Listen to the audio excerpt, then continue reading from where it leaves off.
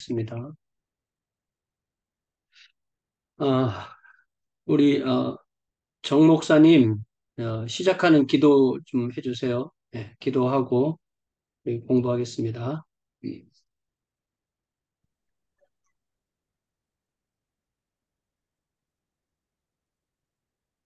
정 목사님 제대로 들려요? 네네, 들립니다. 목사님, 안녕하세요. 네, 정 목사님이 기도 좀 해주세요. 네. 네, 알겠습니다. 저희들을 사랑해 주시고, 저희들을 항상 아껴주시는 아버지 하나님, 오늘 또 하나님의 사랑과 은혜 가운데 이렇게 목사님을 통해서 쾌로, 쾌고로에 대한 또한 많은 어, 업적 또한 그리고 하나님의 사랑을 그 사람을 통해서 한 사람을 통해서 우리가 공부하고 묵상하려고 합니다. 참석하는 모든 목사님과 우리 가족들 위해 하나님의 놀라운 사랑과 은혜가 이 시간 함께하여 주시옵소서. 또 가르치기에 또 준비하시고 늘 기도하시는 우리 최 목사님 위에 놀라운 은혜와 은총이 지혜가 이 시간 함께 있기를 간절히 바랍니다. 하나님의 감동으로 아름답고 복된 시간으로만 채워지게 하여 주시옵소서. 모든 것 감사드립니다. 예수님 이름으로 기도드립니다. 아멘.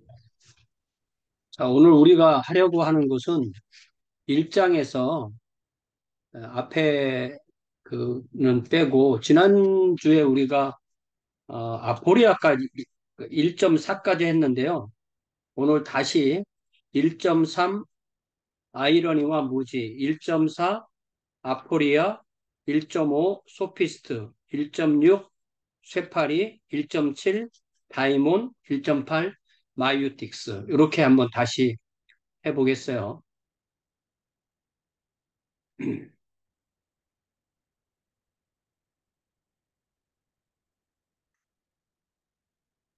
예, 교과서 43페이지. 교과서 43페이지. 지난주에 했던 건데 복습 삼아서 다시 여기부터 합니다. 1.3 예, 소크라테스의 아이러니와 무지. 아이러니의 개념, 논문이죠. 대부분의 관심의 초점은 틀림없이 소크라테스입니다. 그러나 키르케고르가 이 철학자의 가르침을 조사하는 것은 아이러니의 개념 안에 쓴 개념 안에만 들어있는 것이 아니었습니다. 오히려 키르케고르는 소크라테스의 모습에 매료되었습니다. 그는 자신의 생애 전반을 통해 소크라테스에게로 돌아갔습니다. 도대체 이 고대 철학자의 어떤 모습이 키르케고르의 관심을 이토록 끌었을까요? 소크라테스의 아이러니는 무엇을 의미할까요?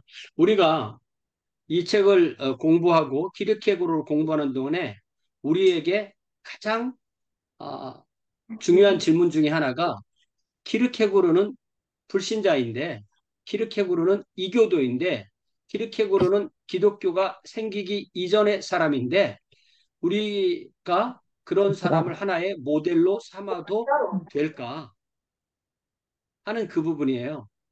그래서 키르케고르가 단지 이교도로서 진리를 추구하는 어, 이데아를 추구하는 지혜를 추구하는 아름다움을 추구하는 정의를 추구하는 그러한 이 애지자 철학을 지혜를 사랑하는 사람으로서로만의 그런 어, 모델로 이 사람을 봐야 되는 건지 아니면 좋은 그리스도인의 모델도 될 수 있는지 이게 우리한테는 숙제예요.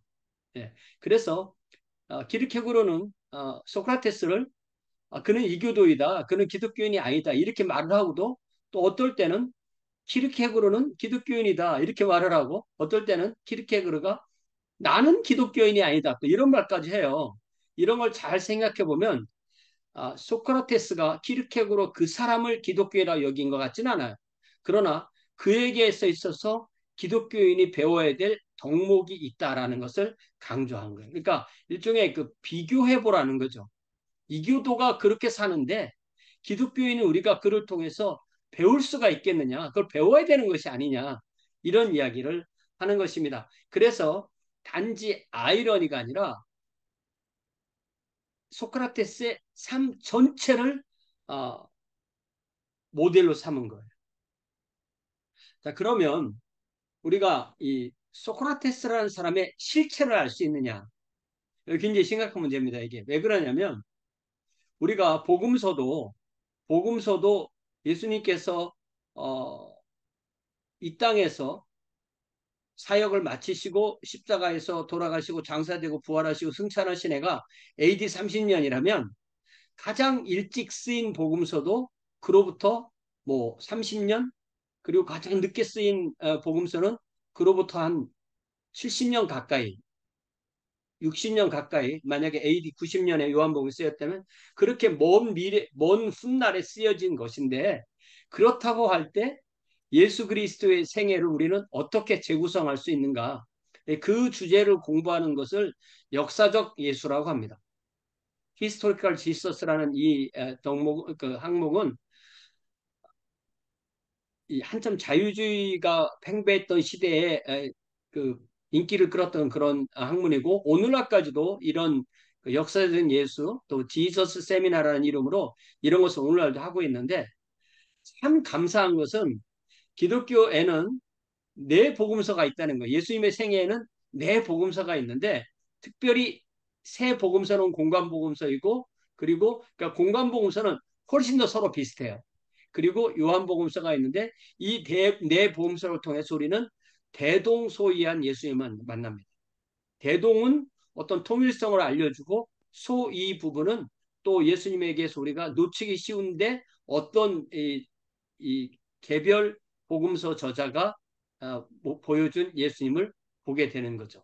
예를 들자면 마가복음에 보면은 어, 떤 청년이 예수님께서 잡히시던 날 밤에 혼이불만 이렇게 두르고 갔다가 예수님이 잡힐 때 자기도 잡혔는데 혼이불을 그들에게 뺏기고 어, 맨몸으로 어, 달아났다. 어떤 청년이 많은 사람들이 그 청년을 마가 본인이라고 생각하거든요.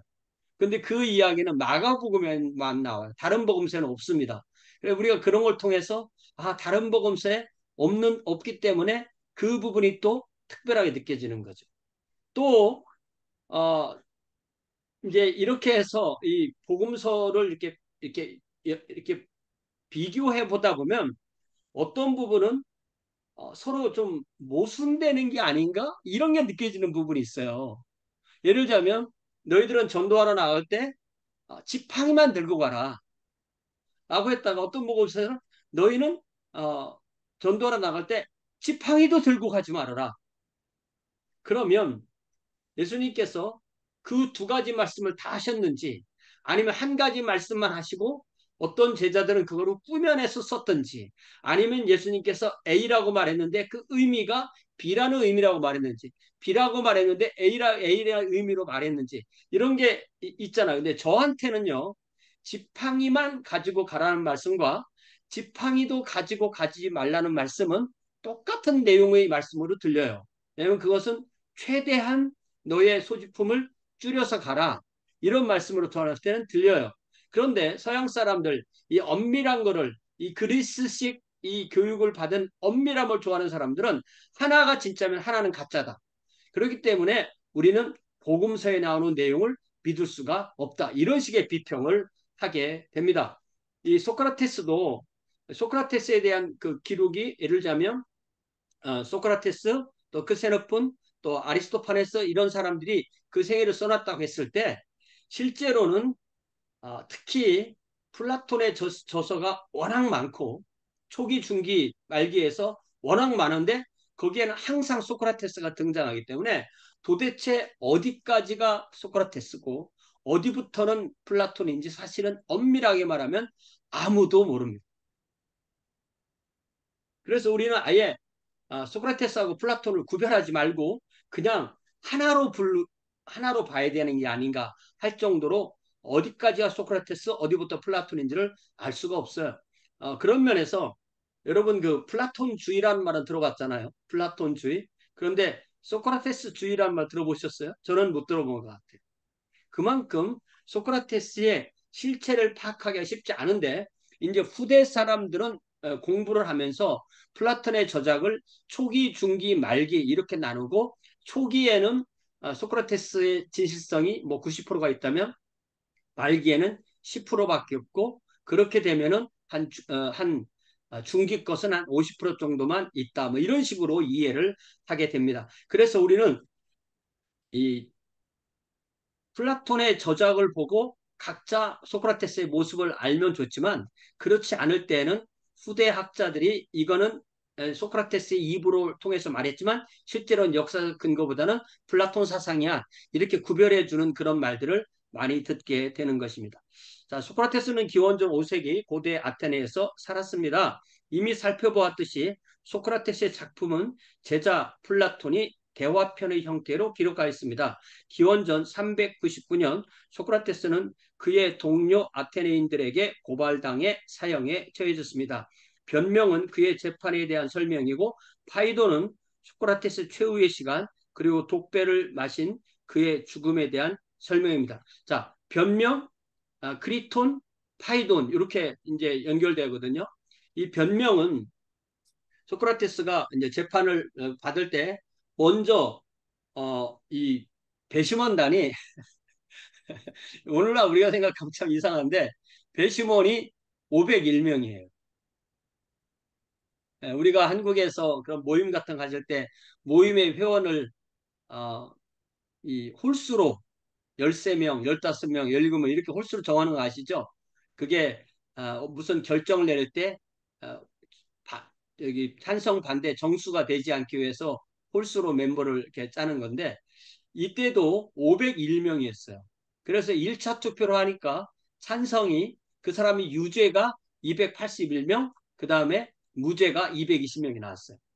그러면 30명만 더 이쪽으로 오면은 사실은 어, 무죄가 될 수도 있는 거예요. 그러면서 어, 소크라테스한테 이제 본인에 대해서 한번 얘기를 해봐라. 본인의 어, 변론을 해봐라. 이렇게 했을 때 소크라테스가 어, 본인을 변호한 이 이야기를 보통 이 아폴로지라는 단어를 변명 이렇게 번역도 하고 또 몇몇 사람들은 아, 자기 변호 이렇게 번역을 하는데 저는 변명은 아닌 것 같아요. 네, 자기 변호, 네, 변호인 것 같고 이 소크라테스의 변명이라는 것을 여러분들이 책으로 구해서 읽기 힘드시면 유튜브 가셔서 그냥 어, 소크라테스의 변명 이렇게 치면 아, 아주 아름다운 목소리로 낭낭하게 에, 낭독해 주는 게 있는데 한 시간이면 다 들을 수 있어요. 그래서 이거를 어, 평소에 뭐 청소할 때나 뭐뭐 뭐 걸을 때나 이럴 때 한두 번 들어보면 한 번 들으면 무슨 말인지 잘 몰라요. 한두 번 딱 들어보면 아 이거구나. 그렇게 이 중간중간에 많이 나오던 내용이 이 맥락에서 이렇게 나오는구나. 그럴 때 거기에 거의 모든 이야기가 다 나옵니다. 소크라테스가 하는 거의 모든 이야기가 이 변명에 나오고요. 그 다음에 크리토는 어, 친구인데 와서 어, 빨리 어, 탈옥해라. 요걸 말하는 사람이고요. 파이도는 파이도는 이제 제가 보니까 이거는 어, 플라톤의 저작 중에서 중기에 속한다고 그래요.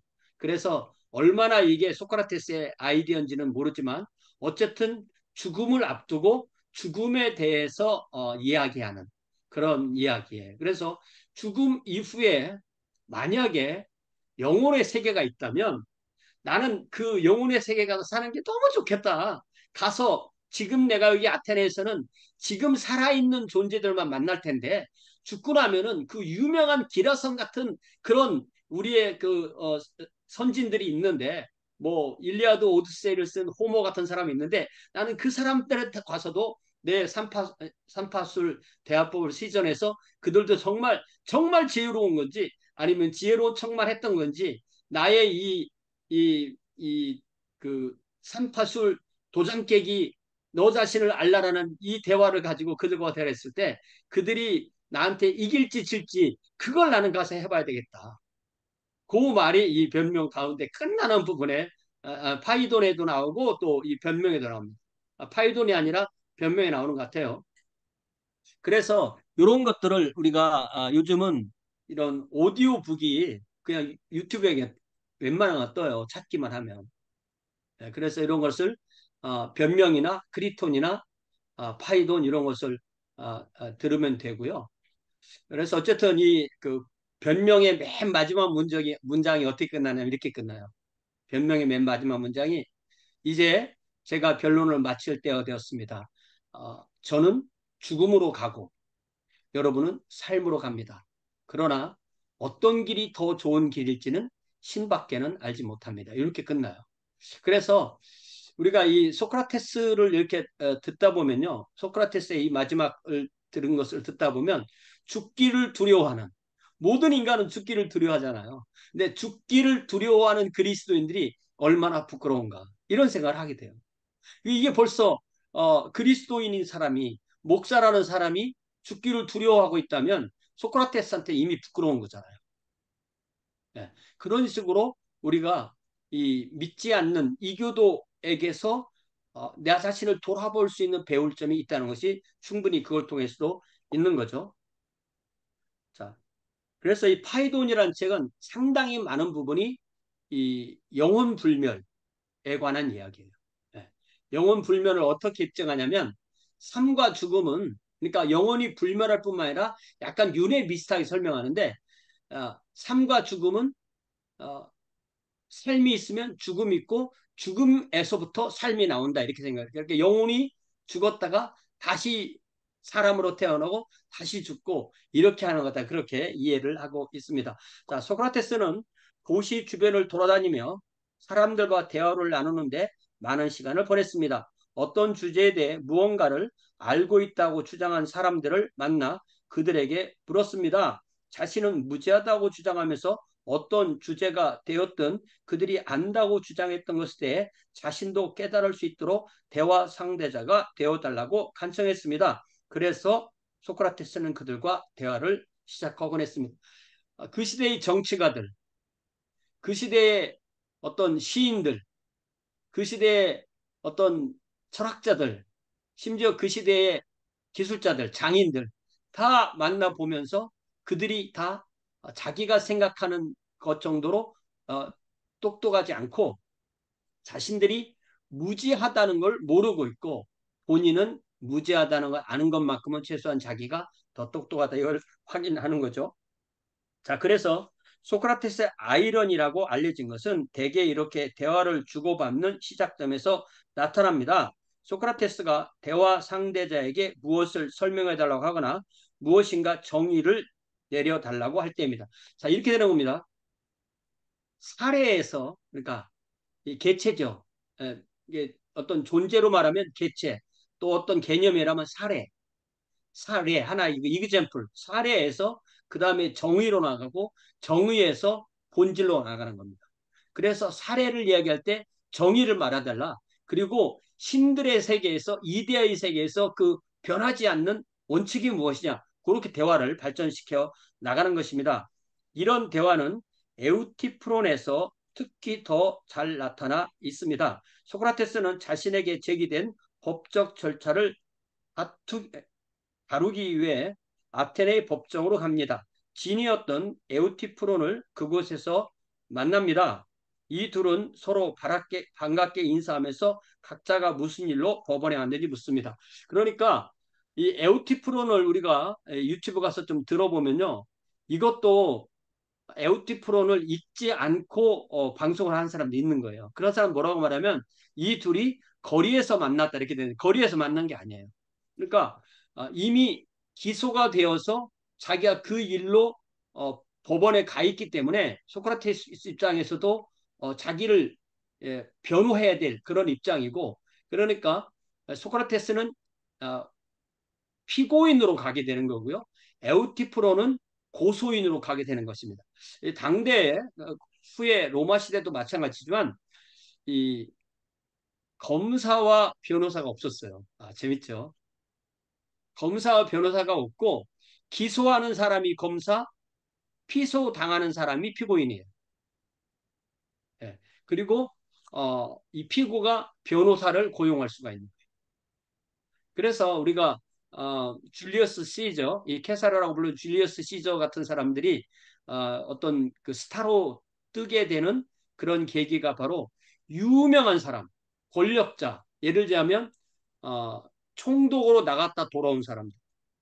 보통 이 로마 제국 시대 이 속주의 총독들이 파견되잖아요. 그럴 때 국경 근처로 이, 이 지중해를 중심으로 어, 삥 돌라서 북아프리카, 이집트, 팔레스타인, 시리아, 또 어, 터키, 또 그리스, 이탈리아, 그 다음에 프랑스, 어 까지 다 영국까지가 이게 로마 이 테리토리였기 때문에 항상 전쟁이 이민족의 침입을 받기에 좋은 그런 데는 황제 속죄라고 해서 보통 어, 황제가 자기 부하 군인을 어, 5년 정도 임기로 보내는 것이 이제 황제 속주이고요.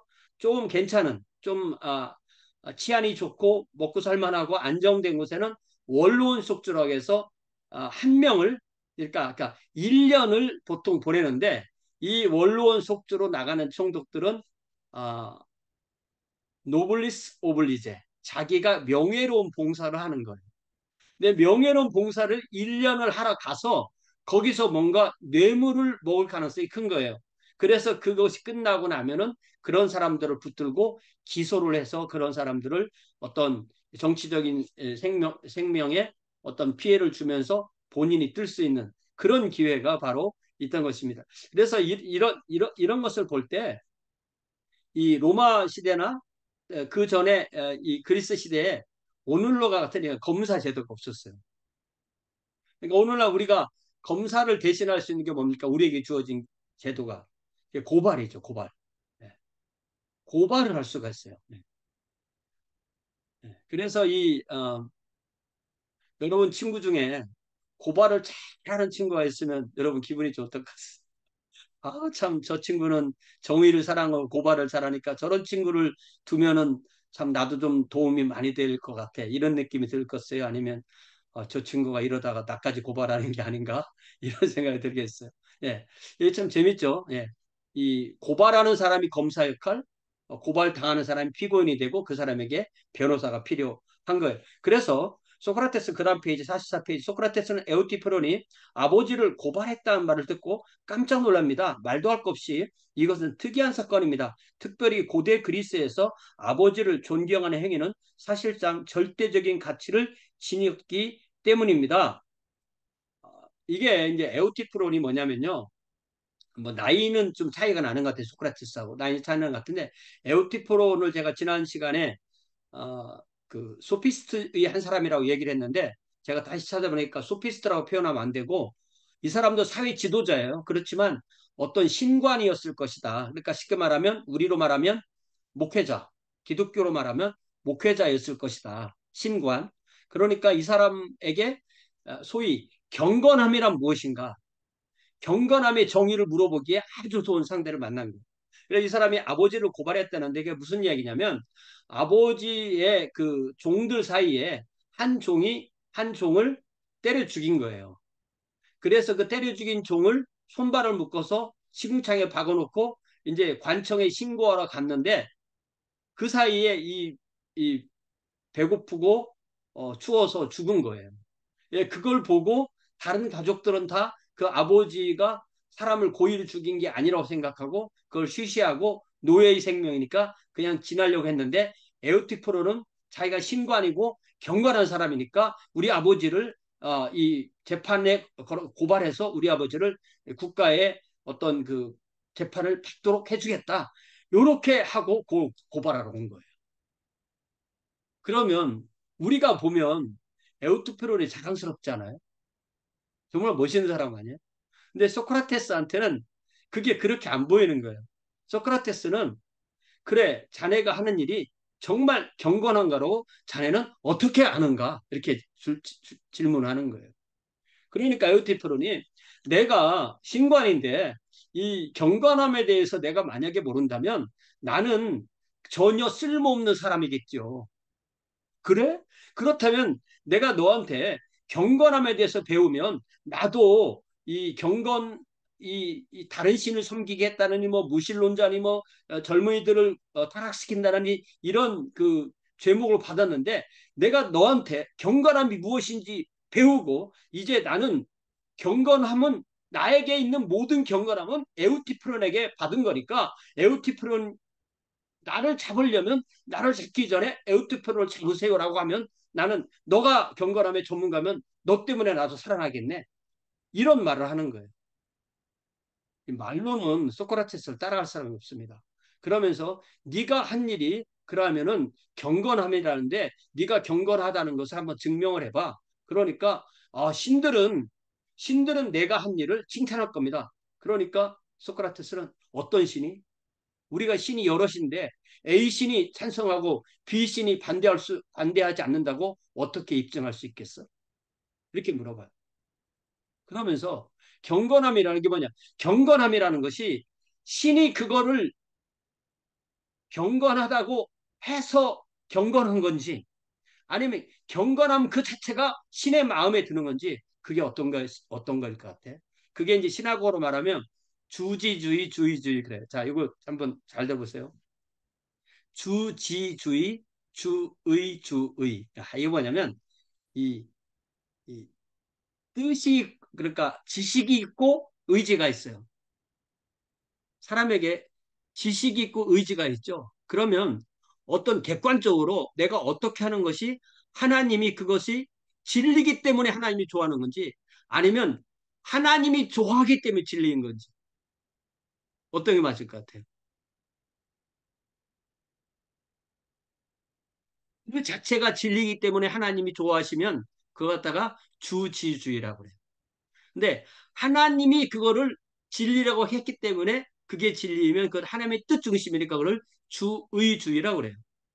근데 이런 신학이 참 대표적으로 쓸모없는 신학인데 저는 그런 거는 사람들이 생각해서 나눠놨지만 주지주의와 주의주의가 하나로 뭉치지 않다면 하나님 안에서 혼란이 들었겠죠. 개념상으로는 구별할 필요가 있지만 사실은 주지주의와 주의주의는 엄밀하게 하나로 붙어야만 된다는 것이 제 생각이에요. 그런 이야기를 통해서 이, 이 에오티프론이 뭐 도저히 그 답을 못할 입장에 되게 해서 그냥 도망치고 마는 그런 이야기가 이 에오티프론입니다. 자, 소크라테스는 즉각적으로 한 사람이 자신의 아버지에게 빚지고 있는 사랑과 존경 그리고 에오티프론의 행위 사이에 명백한 모순을 볼 수 있었습니다. 네가 아버지가 없으면 너라는 존재가 없는데 어떻게 네가 아버지를 고발할 수 있니? 이렇게 물어보는 거예요. 그러나 이런 모순을 지적하는 대신에 오히려 자신이 이해하지 못했던 무언가를 무언가 있는 척했고 에우티프론이 이 문제에 대해 어떤 특별한 지식을 가졌을 것이라 생각하는 척했습니다. 아, 그러니까 내가 어, 너의 제자가 되면 나도 이 소송에서 이길 수 있겠네. 근데 그거를 그 어, 이 아이러니를 너무 진지하게 하니까 상대가 아이러니인 걸 몰라요. 일단은. 예, 그냥 꼬박 속아 넘어가는 겁니다. 소크라테스는 외쳤습니다. 맙소사 에우티프론. 대부분의 사람은 이 일을 어떻게 처리해야 옳을지 알, 알지 못할 걸세. 이 일을 제대로 처리하는 것은 아무나 할 수 있는 것이 아니라 지혜의 길을 이미 상당히 나아간 사람만이 할 수 있다는 것일세. 마치 에우티프론에게 최고의 찬사처럼 들립니다. 소크라테스의 말에 숨겨진 아이러니를 보는데 실패한 에우티프론은 확신에 차서 말합니다. 그건 그렇습니다. 소크라테스 선생님. 이게 그 원어의 소크라테스 선생님이 이렇게 말했는지 잘 모르겠어요. 한국 사람들 번역할 때 이런 걸 집어넣을 가능성이 커요. 잘 모르겠지만 확인해 봐야 돼요. 에오티프로는 사실 이런 일에 자신이 전문가라고 소크라테스에게 장담합니다. 소크라테스도 이런 주장에 동의하는 것 같습니다. 이 대화의 끝에서도 소크라테스의 아이러니를 볼 수 있습니다. 에우티프론이 내놓은 모든 답변마다 소크라테스가 반박을 하고 있으니 이에 지친 에우티프론이 갑자기 달아날 때입니다. 에우티프론이 에우티프론이 급히 떠나자 소크라테스는 경건에 대해 무언가를 배울 수 있다고 생각했는데 그렇지 못했다고 주장하며 크게 실망한 척합니다. 에우티프론이 지도해 주지 않았기 때문에 남은 삶은 무지 가운데 살 수밖에 없다 없는 벌을 받았다고 말하는 소크라테스는 이제 에우티프론에게 마치 야유를 보내는 것 같습니다. 그러니까 소크라테스하고 만나서 말로 이긴 사람이 아무도 없는데도 이렇게 에우티프론처럼 자신만만해서 소크라테스한테 이렇게 붙어보는 사람들이 있는 거예요. 그만큼 이 그리스 사람들은 지혜를 사랑하기 때문에 자신이 가지고 있는 지혜에 대한 자신감이 있는 거예요. 소크라테스는 스스로 아무것도 모른다고 주장함으로써 에우티프론이 전문 지식을 가지고 있는 것에 대해 자랑하게 합니다. 그러면서 에우티프론에게 자유롭게 질문을 던지고 그로부터 배우고 싶어 하는 척합니다. 에우티프론은 스스로 전문가라고 주장했기 때문에 그가 답변을 거부한다면 어리석어 보일 것입니다. 상대가 전문가라고 돋보이게 할 때 스스로 그렇게 하는 것이 쉽다는 것을 소크라테스는 깨달았다는 것입니다. 그러니까 우리가 이 아이러니에서 배울 때 뭐 우리가 실제로 몰라서 모르는 척 할 수도 몰라서 모른다 말할 수도 있지만 사실은 우리가 누구하고 대화할 때도 어, 이 낮은 자세에 취하는 게 좋은 거죠. 그 예수님도 그 잔치 자리에 청함 받은 사람의 그 비유에서 잔치 자리 청함 받으면 무조건 화석에 가서 앉아라. 만약에 주인이 와서 친구여 이쪽으로 옮겨 앉으세요라고 상석을 정해주지 않으면 무조건 가서 하석에 앉아라. 그것도 일종의 사실은 아, 겸손이지만 그 안에 아이러니적인 요소가 있는 것이죠. 이렇게 소크라테스는 대화를 시작하는 것입니다. 이 과정에서 소크라테스 아이러니는 핵심 요소입니다. 첫째, 자신이 아무것도 모른다고 말하는 것이 아이러니입니다. 다음에 나오는 논의가 사실은 소크라테스가 무언가 알고 있는 것을 확실히 증명하기 때문입니다. 우리가 이게 정말 소크라테스 말이야, 플라톤 말이야 잘 모르지만 뭐 어쨌든 소크라테스 진실이 있다고 볼 때 소크라테스의 어떤 지식 자체가 다른 사람에게 있어서 밀리는 건 없어요. 정확합니다. 그러나 소크라테스는 그것에 만족하지 않은 거예요.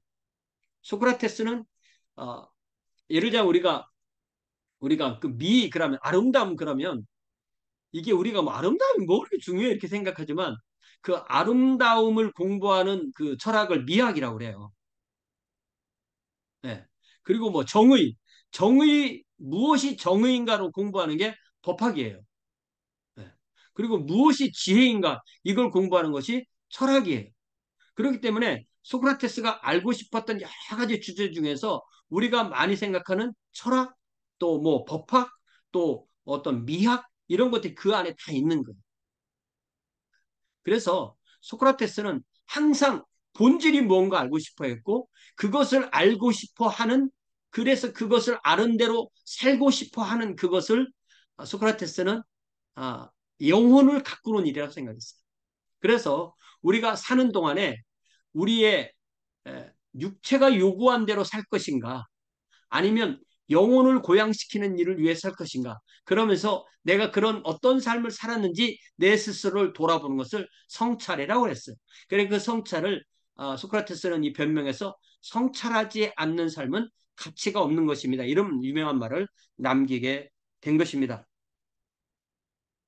아, 둘째, 에우티프론이 무엇인가를 잘 알, 거나 혹은 전문가라고 소크라테스가 인정한 것이 아이러니입니다. 키르케고르는 바로 여기에 매료됐습니다. 자, 여러분 여기 1장에 지금 소크라테스에게 나오죠. 2장도 또, 또 소크라테스에게 해겔이 소크라테스. 그리고 3장에 가면은 또 어, 키르케고르가 본 소크라테스 또 나와요. 그러니까 우리는 계속 소크라테스를 만나게 돼요. 그러면서 저도 잘 설명 못하지만 여러분도 만약에 여러분들 주변에서 이 책을 가지고 제가 이 책을 이제 드디어 어, 오늘 40권을 보내고 아직도 100권이 제 사무실에 있습니다. 저는 이제 편약이 충분해요. 예, 여러분들이 뭐 10권 주세요 해도 줄 수 있고 20권 주세요 해도 줄 수가 있어요. 예, 그래서 여러분들이 여러분 그룹에서 야 우리 성경만 가지고 공부하면 좀 힘드니까 한번 가끔 우리가 간식으로 이런 거 가지고 한번 해보자. 한 6호 과정에 16자 한번 해볼까? 그래서 저처럼 이렇게 반씩 나눠서 한번 같이 읽어보면 어, 가르치는 게 제일 잘 배우는 거기 때문에 네, 그런 것 하면 시도해 볼 수가 있죠. 자, 기르케고는 바로 여기에 매료되었습니다. 19세기 덴마크 사회에서 에우티프론과 같은 사람들을 목격했기 때문입니다. 어떤 것이 실제로는 어떤 것에 실제로는 무지한 사람들이 무언가 안다고 주장을 했습니다. 기르케고로는 이 사람들을 끌어내기 위해 미끼를 던질 수 있는 방법을 소크라테스의 아이러니 활용법을 통해 관찰했던 것입니다. 그때 무지한 자들이 이해했던 것을 스스로 설명하기 시작하면 그들을 충분히 반박할 수 있습니다. 자, 그러니까 상대를 높은 자리에 놓고 자신을 낮은 자리에 놓고 저를 가르쳐 주세요 하고 하면은 그 사람이 가르치다가 이제 그 허점이 술술술술 드러나니까 그때 반박하면서 그 사람을 발가벗겨서 그 사람을 겸손하게 만들고 하나님 앞에 배울 수 있는 사람으로 만들어 준다는 거죠. 자, 그러면 이 시점에서 뭐 우리가 생각나는 성경 구절이 너무너무 많죠. 네. 생각나는 성경 구절이 너무나 많죠. 예를 들자면 우리가 왜, 왜 우리가 이런 그 작업을 왜 해야 되냐면 우리는 평생, 우리의 평생이, 어, 아, 나니 다 됐어. 어, 예를 들면 여러분이 학교를, 학교를 졸업하면서, 아, 나 이 백학점 딴다고 너무 고생했어. 앞으로는 나 절대 공부 안 해. 공부 안 하고, 이 내가 공부한 것을 살아내는, 살아내지 않으면 나는 공부 안 할 거야. 그리고 내가 이 공부한 것을 등록금을 지금 5만 불 내면서 공부를 했는데, 이, 이 등록금 낸 거로 내가 50만 불을 벌지 않는, 벌 때까지는 공부 안 하고, 이제는, 어, 가르치기만 할 거야. 이제 나는 책 안 봐. 그게 그, 그렇게 되, 그렇게 될 것 같아요. 그래서 예를 들자면 우리가 유명한 성경 기절 빌립보서를 보면 충분히 이해가 되죠. 왜 사도 바울이 이렇게 말을 했을까? 자, 3장 12절에 내가 이미 얻었다 함도 아니요 온전히 이루었다 함도 아니라 오직 내가 그리스도 예수께 잡힌 바 된 그것을 잡으려고 달려가노라 형제들아 나는 아직 내가 잡은 줄로 여기지 아니하고 오직 한 일 즉 뒤에 있는 것은 잊어버리고 앞에 있는 것을 잡으려고 표대를 향하여 그리스도 예수 안에서 하나님이 위에서 부르신 부르심의 부름의 상을 위하여 달려가노라. 그러므로 누구든지 예, 그렇게 되어 있습니다. 이렇게 이렇게 되는 거죠. 어, Not that I have already obtained all this or have already been made perfect, but I press on to take hold of that for which Christ Jesus took hold of me. 그러니까 주님께서 나를 이렇게 딱 잡고 끌어갈 때 그거에 맞 춰서 열심히 자기도 따라가겠다는 거죠. Brothers, I do not consider myself to have taken hold of it, but one thing I do, forgetting what is behind and straining toward what is ahead. I press on toward the goal to win the prize for which God has called me heavenward in Christ Jesus. 이게 빌립보 감옥에 아니 로마 감옥에 있을 때 빌립보에게 빌립보 성도들에게 보낸 편지잖아요. 그럼 이 사람은 평생 그러면 나는 내 달리기를 끝마쳤다 이런 말을 한 때가 없었을까요? 그 유명한 말씀이 디모데 후서잖아요. 디모데 후서 4장에 보면 6절에 전제와 같이 내가 벌써 부어지고 나의 떠날 시각이 가까웠도다. 나는 선한 싸움을 싸우고 나의 달려갈 길을 마치고 믿음을 지켰으니 이제 후로는 나를 위하여 의의 멸류관이 예비되었으므로 주 곧 의로우신 재판장이 그날에 내게 주실 것이며 나에게만 주실 것이고 내가 상을 받았으니까 아무도 못 받을 그게 아니라 내게만 아니라 주의 나타나심을 사모하는 모든 자에게 도니라. 그러니까 사도 바울도 상을 타는 거고 키르케고르도 상을 타는 거고 오늘날의 키르케고르처럼 살기를 원하는 여러분도 상을 탈 가능성이 있는 거예요. 그러니까 우리 주님은 하나님은 상을 주신 하나님은 1등만 사랑하시는 더러운 세상 같은 하나님 나라가 아닌 거예요. 네. 주님을 사모하는 모든 사람이 상을 받는 겁니다. 네. 그렇기 때문에 우리가 이 땅에서 어, 그 내가 이제 죽는 것이 확실하다 하는 그날 전까지는 열심히 달려가도 되는 거예요.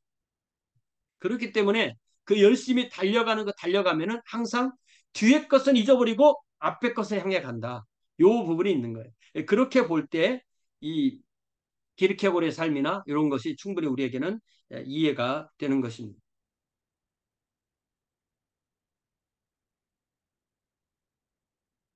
자, 키르케고르는 소크라테스 방법을 주의 깊게 연구했고 그 당시에 참여했던 논의에서 자신에게 유리하게 사용할 수 있는 방법을 찾았던 것입니다. 자, 이게 이제 우리가 현재 이 존 스튜어트 교수님이 우리에게 얘기해 주시는 소크라테스의 아이러니예요.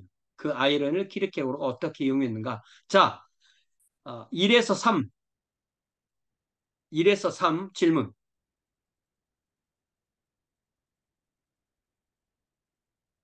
자, 조용 전사님 질문 있으세요? 예, 그 아이러니를 통해서 포스트 모더니즘의 그 상대주의를 비판할 수 있겠다는 생각을 좀 했습니다. 네, 아, 훌륭하십니다. 예. 그러니까 최소한 상대가 먼저 말하게끔 하는 거죠. 예. 제가 매 챕터가 끝날 때마다 한두 명씩 질문을 어, 물어볼게요. 우리 박연선 어, 자매님, 요 소크라테스 아이러니에 보면서 뭔 생각하셨어요? 어, 저는 소크라테스에 대해서 피에로 키거처럼 엄청나게 좋아하게 될 것 같다는 느낌을 받았습니다. 그래서 그러니까 제가 그냥 제 어, 말대로 예전에 예, 생각했었던 소크라테스가 아닌 것 같아요. 그렇죠. 예. 그 유튜브에 들어가셔서 변명 같은 거 한번 들어보세요. 저도 그 듣고 또 들어보니까 들을수록 이해가 더 잘 됐더라고요. 그래서 제가 수업 끝나고 제가 들었던 변명을 한번 여러분에 보- 보내볼게요. 여자분이 하시는데 이게 그 파이돈 같은 거나 이런 거는 그 두 사람의 그 대화를 한 사람이 낭송하니까 목소리가 이게 잘 구별이 안 돼요. 그래, 그럴 때는 이제 목소리를 아예 구별을 한 사람이 목소리를 바꿔서 하든지 이런 걸 들어야 되는데 한 사람이 계속 말하는 거는 그러니까 물론 그 상대방에게 이렇게 말을 시키는 경우도 있지만 그건 충분히 많지 않기 때문에 한번 들어보세요. 재밌습니다. 자, 1-4 소크라테스와 아포리아. 아, 이 그 그리스어에서요. 아자가 붙으면 이게 반대말이에요. 아. 예. 그래서 이, 이 반대말. 예. 그래서 예를 들자면 그 어, 디아포라, 아디오포라 이런 말이 있어요. 아. 그러면 이거는 아디오포라는 이게 어, 중요하지 않은 것, 애매한 것, 예. 주변스러운 거 이런 거. 그래서 이 영어로 그대로 넘어와서 아자가 붙은 그런 단어들이 있는데 그 중에 하나가 이 아포리아고 아포리아의 원래 의미는 배가 난파당에서 그 모래톱 같은데 딱 끼어서 가지도 못하고 오지도 못하고 난파된 그런 상태를 원래는 의미했던 것입니다. 소크라테스의 대화 중 키르케고르에게 있어서 아이러니 외에 또 다른 중요한 요소는 아포리아로 알려진 것입니다. 이것은 그리스어로 당황스러운 것 혹은 대답할 수 없는 것을 의미합니다. 소크라테스는 에우티프론을 포함한 다른 상대들과 대화하는 중 이들을 아포리아 상태로 만들어 버립니다. 소크라테스는 경건에 대한 정의를 묻고 에우티프론은 대답합니다. 그러나 소크라테스의 반대적인 질문에 대해 대화 상대 모두 자신들의 대답이 만족스럽지 않다는 것에 동의합니다. 동일한 일이 두 번째, 세 번째 혹은 그 이상의 정의하는 과정에서 반복해서 일어납니다. 결론적으로 진짜 정의가 도출되지 않습니다. 소크라테스와의 대화에서 인내심을 상실한 데다가 자신이 점점 더 멍청해지기 시작한다는 것을 깨달은 에오티프로는 중요한 약속이 있다고 말하면서 갑자기 자리를 뜨고 맙니다. 따라서 이 대화는 그 자체로 아포레아로 끝난 겁니다. 경건의 정의란 무엇인지에 대한 어떤 합의도 도달하지 못했기 때문입니다. 이런 이유로 인해 이것은 플라톤의 아포리아적 대화 중 하나로 알려져 있습니다. 다시 말해 시험 중이던 질문에 대해 명확한 결론에 이르지 못한 채 대화가 끝나버리는 것입니다. 자 그러면 소크라테스가 그래? 그럼 내가 정의를 알려줄게 이렇게 하지 않는다. 소크라테스도 거기서 끝나고 키르케고로도 거기서 끝나고 최정희는 답을 말해주고 그래가 제가 고수예요 하수예요 하수죠. 고수는 답을 말해주지 않는 거예요. 고수는 자기의 상대자가 답을 찾을 수 있을 거라 믿는 거예요. 저처럼 하수는 답을 말해주는 거예요. 근데 그 답이 그 사람에게 답이 아닐 수도 있거든. 네. 일반적으로 철학적 논문이나 글을 쓸 때 목표는 특별한 명제, 명제란 논문보다 그 번역보다는 논지가 더 나을 수도 있어요. 논지에 관해 이를 입증하고 바로 이 특별한 점을 정립하는 것입니다. 시작에서 명제를 언급한 후에 그 작품 전체에 걸쳐 명제에 대해 논증해가는 방식입니다. 하지만 이런 배경과는 반대로 소크라테스가 진행해 나가는 과정은 매우 특이합니다. 아무것도 정립하지 않습니다. 결과는 순수하게 부정적입니다. 그러니까 다 같이 몰라로 끝난다는 거예요. 몰라로 끝난다는 거죠. 처음에 누군가에 의해 제안되었던 몇 안 되는 경건에 대한 정의가 정확하지 않다는 것, 이것이 그들이 배웠던 전부입니다. 사람들은 여전히 경건이 무엇인지 알지 못하고 있습니다. 어떤 긍정적 정의도 비판적 시험에서 살아남은 적이 없죠.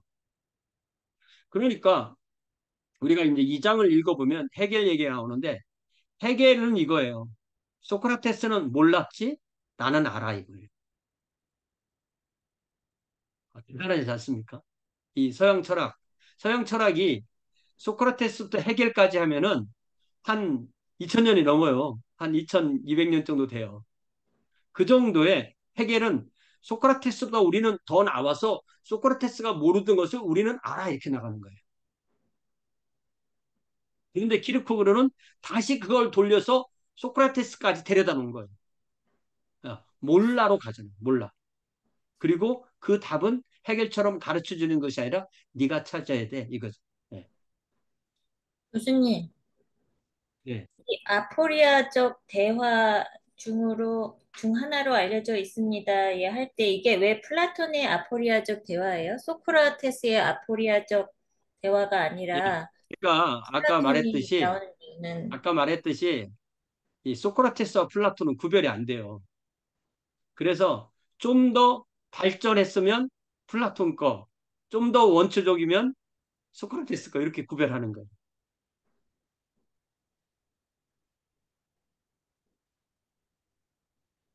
예, 저는 그렇게 이해를 합니다. 예, 거기다 플라톤이라는 말을 붙인 것이. 그래서 아예 이 철학에서는 어, 소크라테스 난제 이런 제목이 있대요. 그게 뭐냐면 도대체 플라톤과 소크라테스 어떻게 구분해서 어디까지가 소크라테스, 어디까지가 플라톤인지를 정확하게 아는 사람은 아무도 없다 오늘날도 이렇게 이해를 한다는 거예요. 참 다행인 게 예수 그리스도와는 다른 거죠. 예수 그리스도 아까 말했던 역사적 예수, 우리가 믿는 신앙의 예수, 이거는 역사적 예수는 없습니다. 무슨 얘기냐면 역사적 예수를 찾을 수 있는 사람 아무도 없는 거예요. 왜 없냐? 역사적 예수를 쓰는 모든 사람들이 내가 본 예수를 쓰는 거예요. 어떤 복음서를 읽고 자기가 빼고 싶으면 빼고 이게 예수다 이렇게 얘기하는 거예요. 역사적 예수는. 그러면 우리는 어떻게 믿으면 되느냐? 신앙의 예수와 우리가 믿는 신앙의 대상이신 예수님과 역사적 예수는 정확하게 일치한다. 이거밖에 답이 없는 거예요. 무엇인가를 빼고 예수님을 그리고 싶으면 우리는 그때부터 그거는 너네 학문에서는 될지 모르지만 어, 나의 학문과 나의 신앙에서는 그것은 안 된다 이렇게 말할 수 있는 거죠. 그래서 이, 이 아포리적 대화라는 이런 표현도 사실은 이게 어, 소크라테스가 시작했지만 이런 개념을 완성시킨 사람은 플라톤이다 이런 식으로 이해할 수가 있습니다. 자, 처음에 누군가에 의해 제안되었던 몇 안 되는 예, 거기 다 읽었죠. 자, 야, 이것이 키르케고르의 관심을 끌었으며 이런 의미에서 소크라테스와 같은 부정성의 사상가를 보고 즐거워했습니다. 그러니까 부정성이라는 의미는 아, 저 사람 부정적이야. 그런 의미가 아니라 모른다라고 말할 줄 아는 거예요. 예. 나는 모릅니다. 라고 말할 줄 아는 것을 부정성이라고 본 거예요. 소크라테스의 목표는 긍정적 썰을 긍정적 교리를 정립하는 것이 아니라 오히려 다른 사람들이 그것을 불확실한 토대에 의지하고 있다는 것을 지적함으로써 그들 자신이 오래 지켜왔던 관점을 제고하도록 만드는 것입니다. 이게 뭐냐면 우리가 우리가 목사님의 설교를 들을 때 아니면 교회에서 뭔가 회의를 결정할 때 아니면 내가 무엇이든 결정할 때 따를 수 있는 원칙이 뭐가 있을까요? 예를 들자면 제가 교회에서 점심 때 식사 기도를 우리 어, 교회 집사님을 시켰더니 어떤 분이 저한테 와서 나는 교회 몇십 년 다니는 다니는 동안에 당신 같은 목사는 처음 봤다. 어? 목사가 예배 끝나고 점심 먹을 때 식사 기도를 왜 하냐 목사가 그게 뭐가 두렵냐 식사 기도를 목사가 해줘야지 왜 성도한테 시키냐 나는 이렇게 성령님이 안 계시는 교회는 처음 봤다 내가 다니는 교회 목사님은 그렇게 안 했다. 그럼 그분은 그 그분을 지배하고 있는 원칙은 뭐예요? 그 전 담임 목사님이잖아요. 그걸 뭐라고 말하냐면 전통이라고 그래, 전통. 그분이 전통. 내지는 뭐 교회 회의, 내지는 우리 목사님, 내지는 아, 내가 기도해 보니까 주님의 음성이 이렇게 들렸다. 그러면 우리가 알고 있는 원칙은 성경이잖아요. 그럼 성경을 내가 어떤 그것과 해당되는 정확한 본문을 정확하게 써서 원칙을 가졌다는 것을 어떻게 입증할 수 있겠어요? 그러니까 이게 사실은 쉽지 않은 거예요. 그래서 우리가 넓고 깊게 공부하는 쪽으로 가는 거예요. 말씀을 아, 그래서 우리가 아, 말씀이 나를 내 이성을 굴복시키는 걸 우리가 따라가는 거예요. 가장 확실한 것이. 그러나 그것도 사람마다 다를 수가 있는 거죠. 이 원칙이 뭐냐? 이거 굉장히 중요해요. 원칙이 뭐냐는 굉장히 중요한 거죠. 아이러니의 개념을 쓰고 5년이 지난 후 키르케고르는 다시 그의 일기 JJ에서 자 일기는 어떻게 나가냐면 AA, BB, CC, DD 이렇게 쭉 나가요. 네. 그러니까 이, 이 소크라테스는 자신의 일기 일기까지도 나중에 사람들이 볼 걸 아는 거예요. 여러분 그 일기 쓰는 사람들이 다 그 어, 떤 사람도 내 일기를 아무도 안 볼 거라고 생각하고 쓰지는 않답니다. 일기 쓸 때는 누군가는 읽을 거라고 생각하고 쓴대요. 그런 면에서 사실은 일기가 어, 중요한 거죠. 그래서 어, 여러분이 이 책을 끝까지 다 읽어본 사람들은 알겠지만 이 일기가 어디까지 간다고 그랬죠? AA, BB도 쭉 시작해서 JJ까지 간다고 했나 어디까지 간다는데 제가 기억에 어쨌든 이, 이 알파벳 끝까지 가지는 않아요. 그때 예를 들자면 이제 내가 어, 33살에 넘고 죽을 거라고 생각해서 일기 쓰기를 그만뒀다가 다시 일기를 새롭게 쓸 때는 NB, NB라는 제목을 달아요. 그래서 NB 1, 2, 3, 4에서 30몇 가지 가는데 그 NB는 어, 새로운 기록 그런 뜻이 아니고 잘 기록해라. 아, 잘 기록해라 이런 말로 일기를 또 씁니다. 그래서 어쨌든 이 일기 JJ에서 소크라테스의 철학적 특징으로 돌아왔습니다. 그 일기에서 그는 다음과 같이 쓰고 있습니다. 플라톤의 대화편 중 몇 편이 결과 없이 끝난다는 사실은 내가 생각했던 것보다 훨씬 더 깊은 이유가 있다. 삼파술이 독자나 청중을 자기 능동적이 되도록 만든다. 문제를 자기가 발견하고 답을 자기가 발견하면 그게 다른 사람이 가르친 것보다 저 같은 경우는 100배 정도의 임팩트가 있어요. 그럼 어떠세요? 그래서 제가 성경을 진지하게 연구하고 삼위일체 하나님께서 이 세상에 하나님의 왕국을 끌어가시는 것을 만들어 가시는 것을 발견 못하는 사람들은 성경을 진지하게 공부하지 않은 거라고 저는 믿어요. 네. 그거는 성경 전체를 공부하면 자연스럽게 나오는 reading이에요. 그런데 이거를 아무도 저한테 명확하게 가르쳐주지 않았기 때문에 제가 그걸 발견하고 나서 얼마나 놀랐는지 몰라요.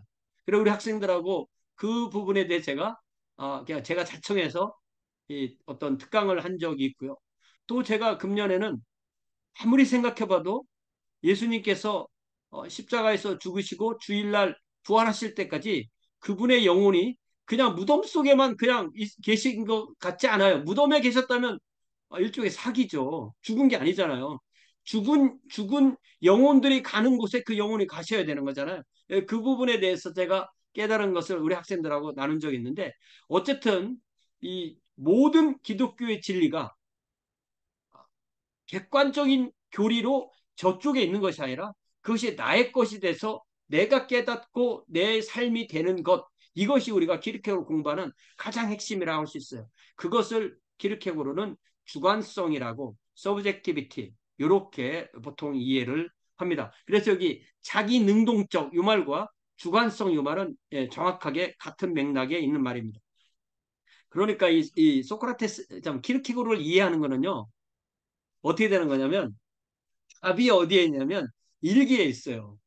근데 문제는 뭐냐면 일기는 너무 방대한 양이기 때문에 고 시대에 쓰여진 일기를 자세히 살펴봐서 거기서 답을 찾아내면 기르케고로 해석에 훨씬 유리한 것 같아요. 제가 볼 때는.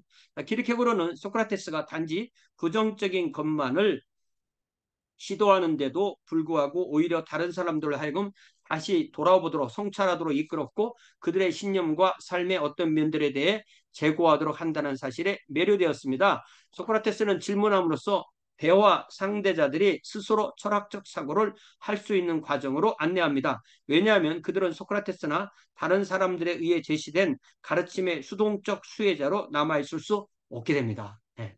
이게 뭐예요? 능동성이죠. 네. 능동성, 네. 주관성.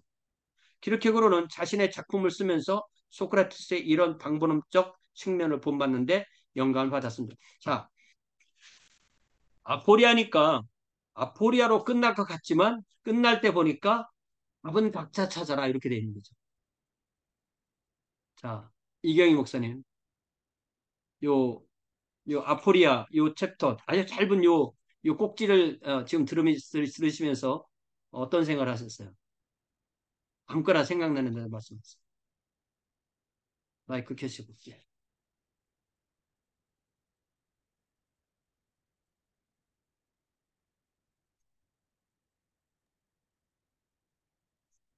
제가 어떤 답을 제시해야 돼야 한다는 그런 아니, 아니, 아니. 아무 아니요. 생각나, 생각나는 말씀하세요. 그러니까 제가 어떤 답 어떤 대화를 하거나 할 때 어떤 답을 제시해야 된다는 그런 그 뭐라 그래야 요 무게감 같은 것을 좀 벗어나는 느낌?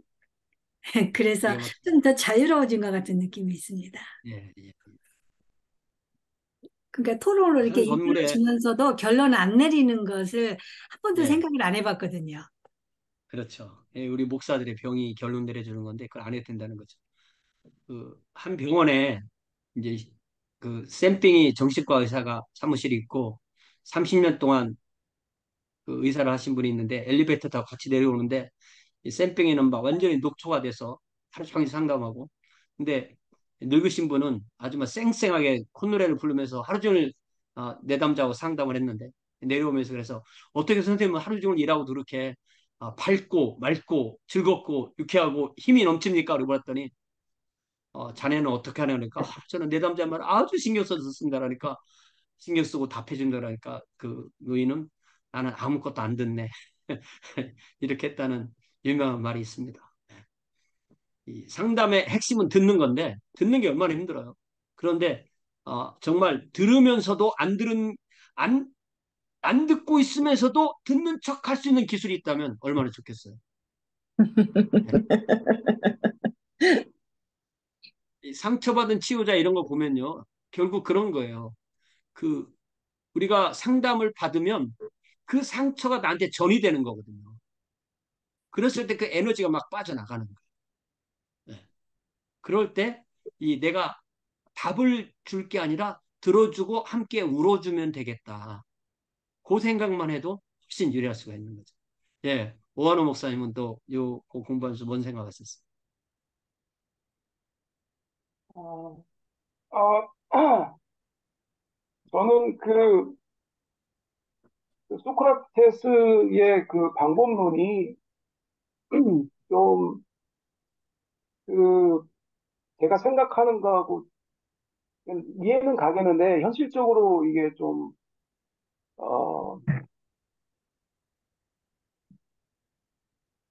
조금 와닿지가 않는 게, 그게 뭐냐면 이게 다른 사람을 상대할 때 다른 사람이 뭔가를 알, 알, 알, 뭐 안다고 주장할 때 그거에 대한 그 좀 허술점이나 좀 완벽하지 않다는 거를 아, 아포리스 그 질문을 함으로써 그것을 깰 수 있는 어떤 방법론이 그 제시를 해- 했어요. 그거는 이해했는데 저희는 그 성경을 통해서 어떤 하나님의 계시를 어떻게 하면은 그 알려고 하는 그런 그 생각을 하게 되는데 그거하고는 약간 방법론적으로 좀 상반되는 것 같아가지고 듣고는 있어도 조금 이게 어떻게 나한테 적용할 수 있을까가 조금 고민되는 지점이 좀 있는 것 예, 같습니다. 예 를 들면 이제 성경을 우리가 읽어주고 제시를 해줄 수는 있지만 가능하면 그것이 나의 답이 아니라 그 사람의 답이 되도록 어, 이렇게 여유를 가져주는 거 그런 면이 필요할 것 같아요. 예. 자, 다른 또 질문 없으시면 이제 아니, 그, 그래서, 그래서 저희가 또 되게 제가 공부한 게 그 조직 신학이고 교회사고 그동안 좀 교회적으로 많이 쌓아놓은 그런 그 세계적인 지식이 있는데 그거를 저희가 좀 이렇게 그 정제해서 전달을 해야 되는 부분이 반면은 있는데 다른 다른 사람하고 그런 대화에서 이걸 어떻게 적용할 것인가가 조금 좀 생각을 해봐야 될 것 같습니다. 네. 어쨌든 좀 공부 좀 해봅시다. 자, 1.5 소크라테스와 소피스트. 기원전 5세기에 아테네에는 많은 순회하는 수사학자가 있었습니다. 그들은 수업료를 받고 부자의 자녀들에게 수업을 진행했습니다. 음. 이 사람들이 소피스트로 알려졌습니다. 자, 소피스트 궤변론자로 번역 안 합니다. 그냥 소피스트라고 해요. 왜냐하면 궤변론자는 아니에요. 소피스트는 지혜 전문가예요. 오늘날로 말하면 일타 강사예요. 그러니까 그때는 이 공립학교라는 게 없었기 때문에 누군가는 이 교육자 역할을 했어야 됐고 이 사람들이 교육자예요. 그래서 소크라테스도 사실은 소피스트인데 소크라테스와 소피스트의 가장 다른 점은 소피스트는 자기들이 안다고 생각하고 가르쳤고 소크라테스는 자신이 모른다는 것만 주장했고 그 사람들은 수업료를 받았고 소크라테스는 수업료를 받지 않았다는 이 차이가 있는 거예요. 그래서 우리는 우리는 소크라테스를 소피스트라고 부르지는 않아요. 그런데 여러분이 위키피디아나 나무위키나 가보면 소크라테스가 라면 주전 5세기 아테네의 소피스트 이렇게 나와요. 예. 그러니까 소, 이 소피스트들이 있던 시대, 그러니까 우리가 소피스트라고 불리, 부르는 그 많은 사람들이 함께 활동했던 사람들이에요.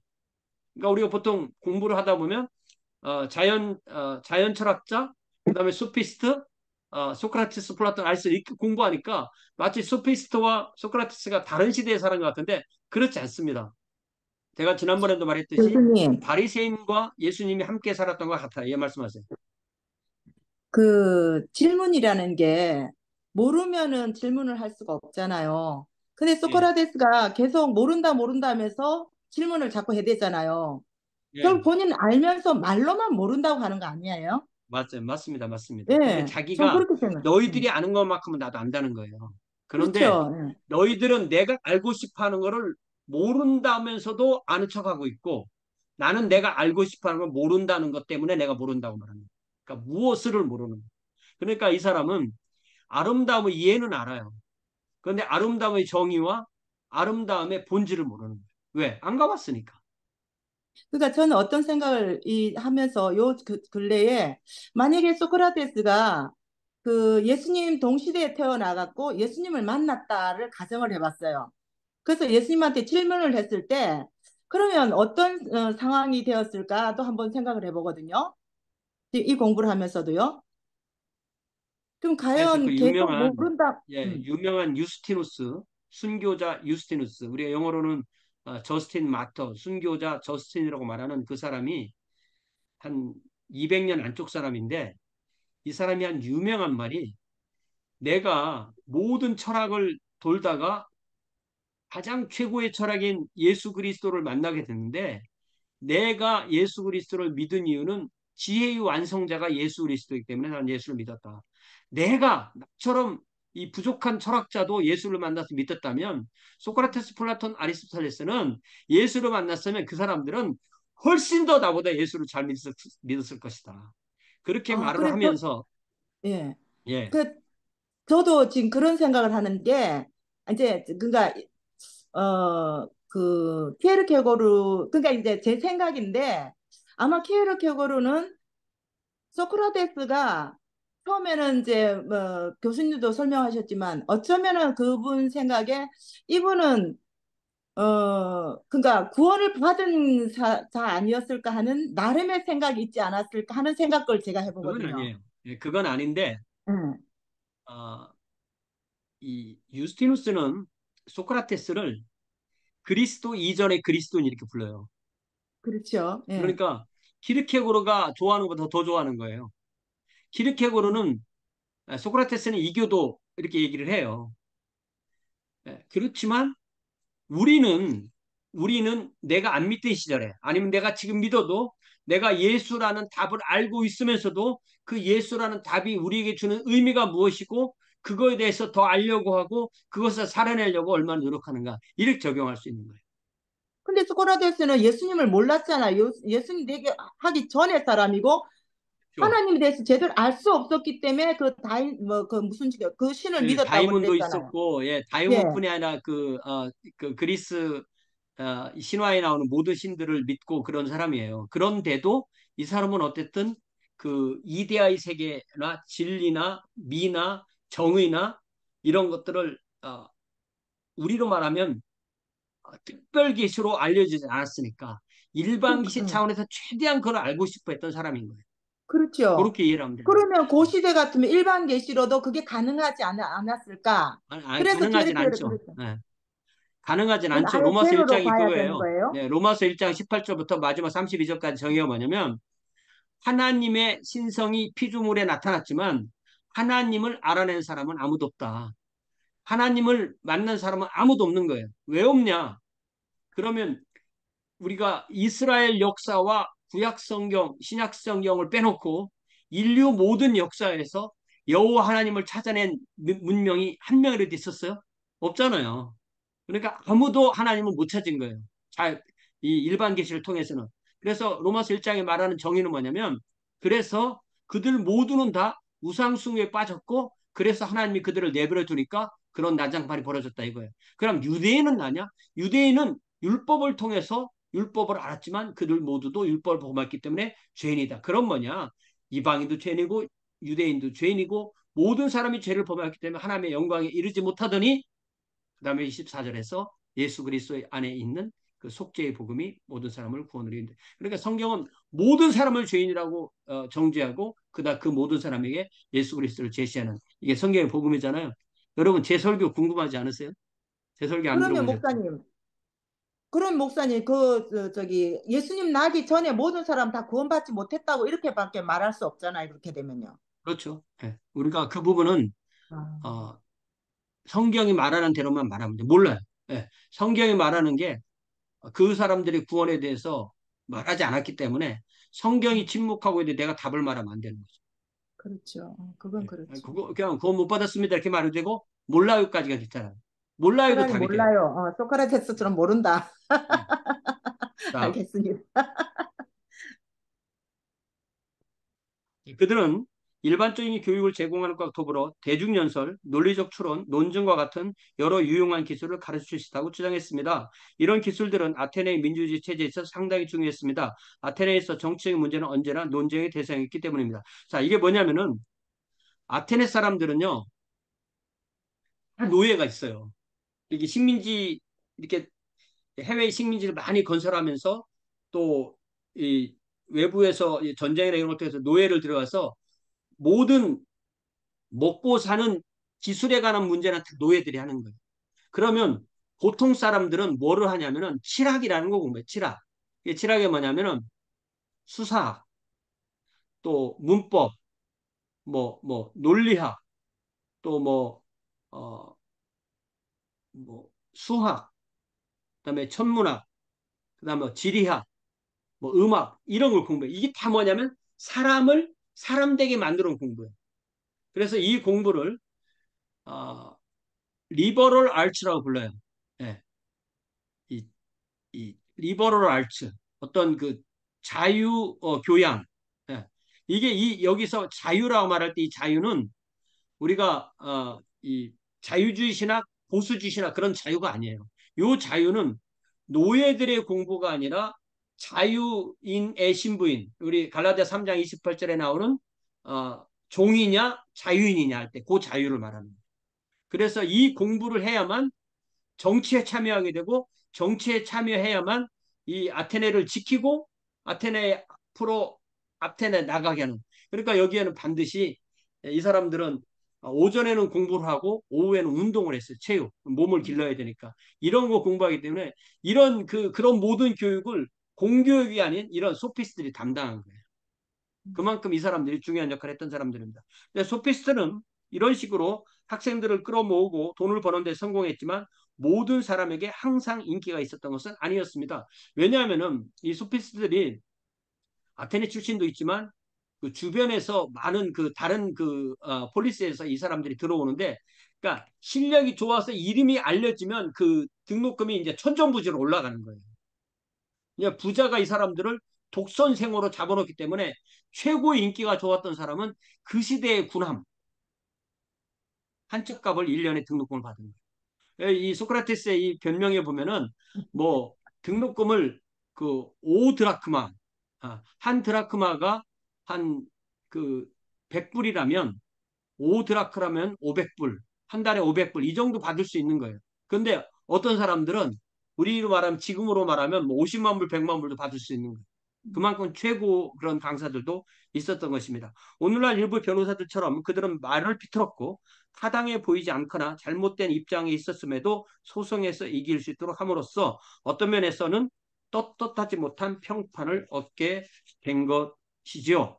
그들은 카리스마가 있는 유명인들이 다 달변가에서 언어로 사람들을 유혹할 수 있었습니다. 그들은 논쟁에서 이기는 것만 생각했지 진리를 추구하는 것에 대해서는 별로 흥미가 없었다고 생각합니다. 그거 밑줄 그어야 돼요.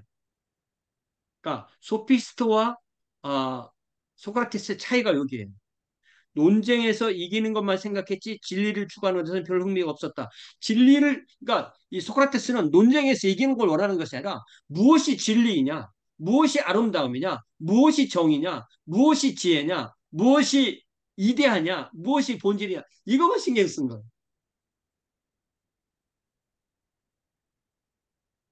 그래서 여러분들이 그 많은 그 법정 드라마도 보시고 하지만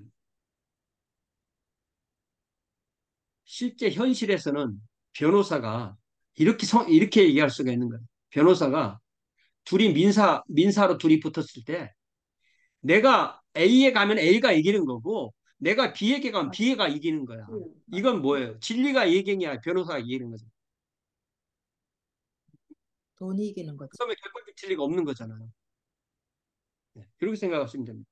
소크라테스는 아테네의 젊은이들에게 분명 무언가를 가르치면서 길거리에 종종 등장했기 때문에 많은 사람이 소피스트와 연관시킬 빌미를 주었고 소크라테스에 씌워진 많은 혐의 중 하나는 빈약한 논증을 더 강하게 한다. 이게 빈약한 논증을 더 강하게 한다. 이게 소피스트들이 하는 일이거든요.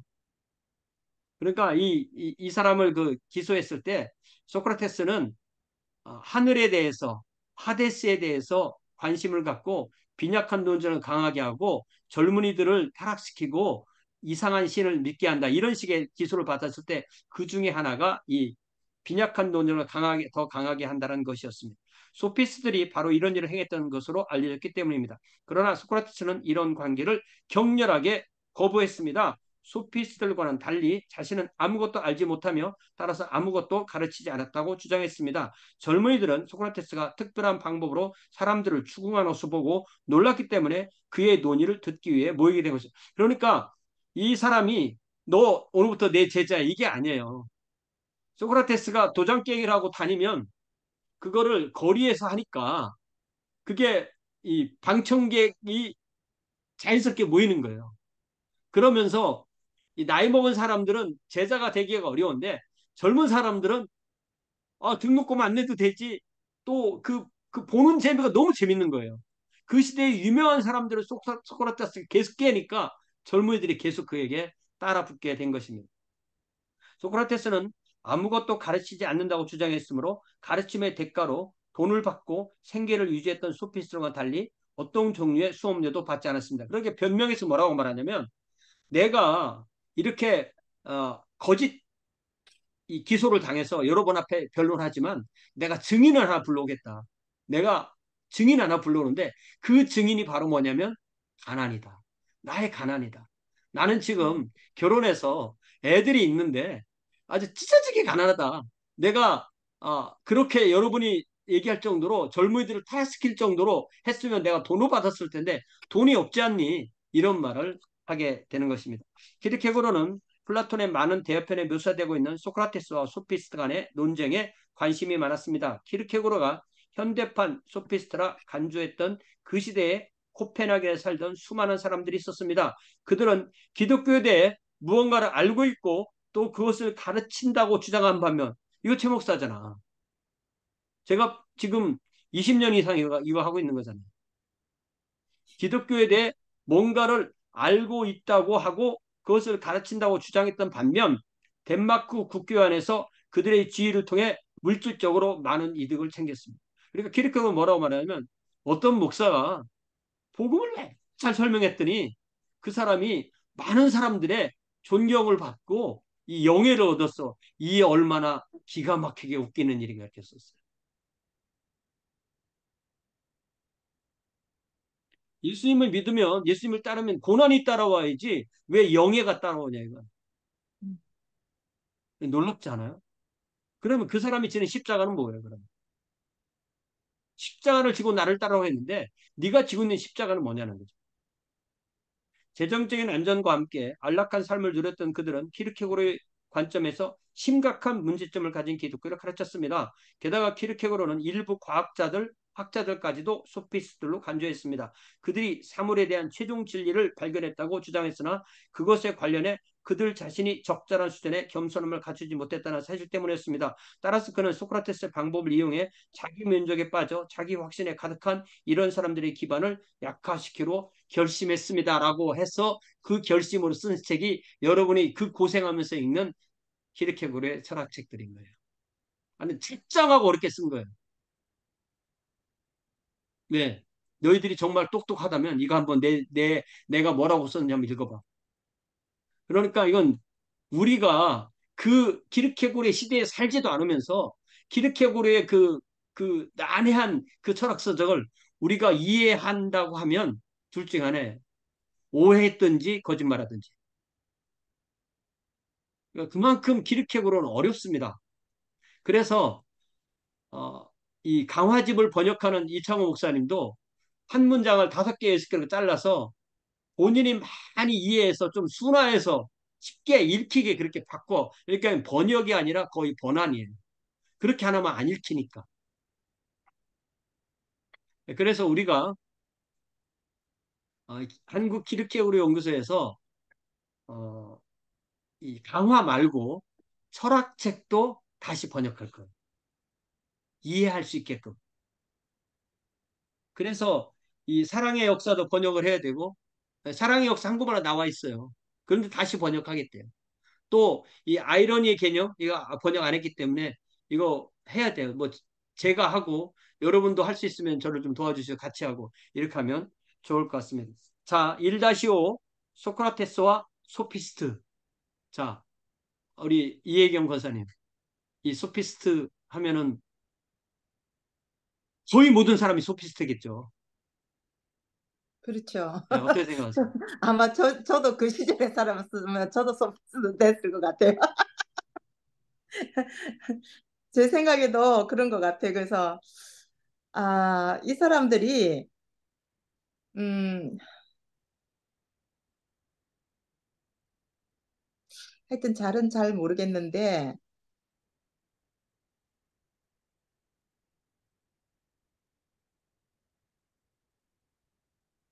그러니까 우리가 네. 평생 배우는 자세에 있으면 일단은 소피스트란 말 안 듣는 거예요. 자, 우리 신서영이 자매님 한 말씀 해주세요. 어떻게 우리는 소피스트가 안 될 수 있을까? 예, 아, 말씀하신 것처럼 최소한 제 학, 아직 학생이기 때문에 다행이라는 생각이 들긴 하네요. 아, 교수님이시잖아요. 교수님이시, 교수님 아. 입장에서 얘기해봐요. 아, 어, 저 교수이기도 하지만 학생이기도 한데요. 예, 계속 저는 예, 배워야 된다고 생각하고 그렇지 않으면 생각이 이렇게 굳어지더라고요. 저도 아, 안 그렇다고 생각해도 내가 내 자신을 어, 잘 모르는 것 같아요. 어떨 때는. 그래서 예를 들자면 교수님이 개론 시간부터 난 물론 내려면 안 되겠죠. 그렇죠. 학생 받아서 등록금 받으면서 가르치면서 난 물론 내려면 안 돼요. 그러나 나는 이제 공부 다 했기 때문에 학회 같은 데안 된다. 학회는 내 후배들이 나는 거지. 거기 가서 난 뭐 발표할 것도 없고 들을 것도 없고 그런 거 그러면 도태되겠죠. 알잖아요. 학회가 왜 있겠어요? 뭐 인간관계에 쌓려고 있는 건 아닐 거잖아요. 예. 네. 그렇게. 보면 가장 많이 배우는 사람이 가장 많이 가르치는 사람 이렇게 생각하면 이 소피스트에서 어떻게 하면 벗어날 수 있을까? 이 연구들한테는 중요한 주제인 것 같습니다. 자, 그 다음에 1-6 소크라테스의 사명과 쇠파리. 소크라테스는 사람들에게 질문하는 과정에서 많은 시민을 짜증나게 했습니다. 특별히 말문이 막힌 젊은이들과 군중 앞에서 소크라테스가 반박할 때면 그들은 공개적으로 굴욕감을 느꼈습니다. 이것이 소크라테스 적들 중 일부가 그를 고발하고 법정에서 자신을 변호하도록 강요한 몇 가지 이유 중 하나였습니다. 왜 아타네 주변을 돌아다니며 이렇게 많은 시민을 괴롭혔는지 설명을 요구받았을 때 소크라테스는 델포이의 신탁소 옛날엔 델피 그랬어요. 그래서 델피 예, 델포이의 신탁소에 갔던 친구 그 친구는 이렇게 각주에 나오는 대로 카이레폰이죠. 카이레폰의 이야기를 전합니다. 자, 그런데 좀 신기한 게 카이레폰은 왜 가서 그런 걸 물어봤을까? 아마 소크라테스를 카이레폰이 보니까 자기가 볼 때 엄청 똑똑한 사람이야. 그러니까 신탁소에 가서 어, 고대 그리스 사회에서 신탁소는 존경받는 종교기관이었습니다. 아폴로 신이 그곳에서 여사제들을 통해 말한다고 그들은 믿었습니다. 어떤 개인적인 문제 혹은 더 큰 국가의 문제에 대해 중대한 의사결정을 할 때마다 계획하는 일이 번창할지 아폴로 신에게 묻기 위해 신탁을 받으러 가는 것은 아테네인들의 관례였습니다. 소크라테스의 친구 카이레폰이 소크라테스보다 더 지혜로운 자가 있는지 신에게 물었고 신은 여사제를 통하여 아무도 없다고 대답했던 것이죠. 자, 여기 우리 두 가지예요. 첫 번째는 카이레폰이 도대체 그런 질문을 왜 물었을까?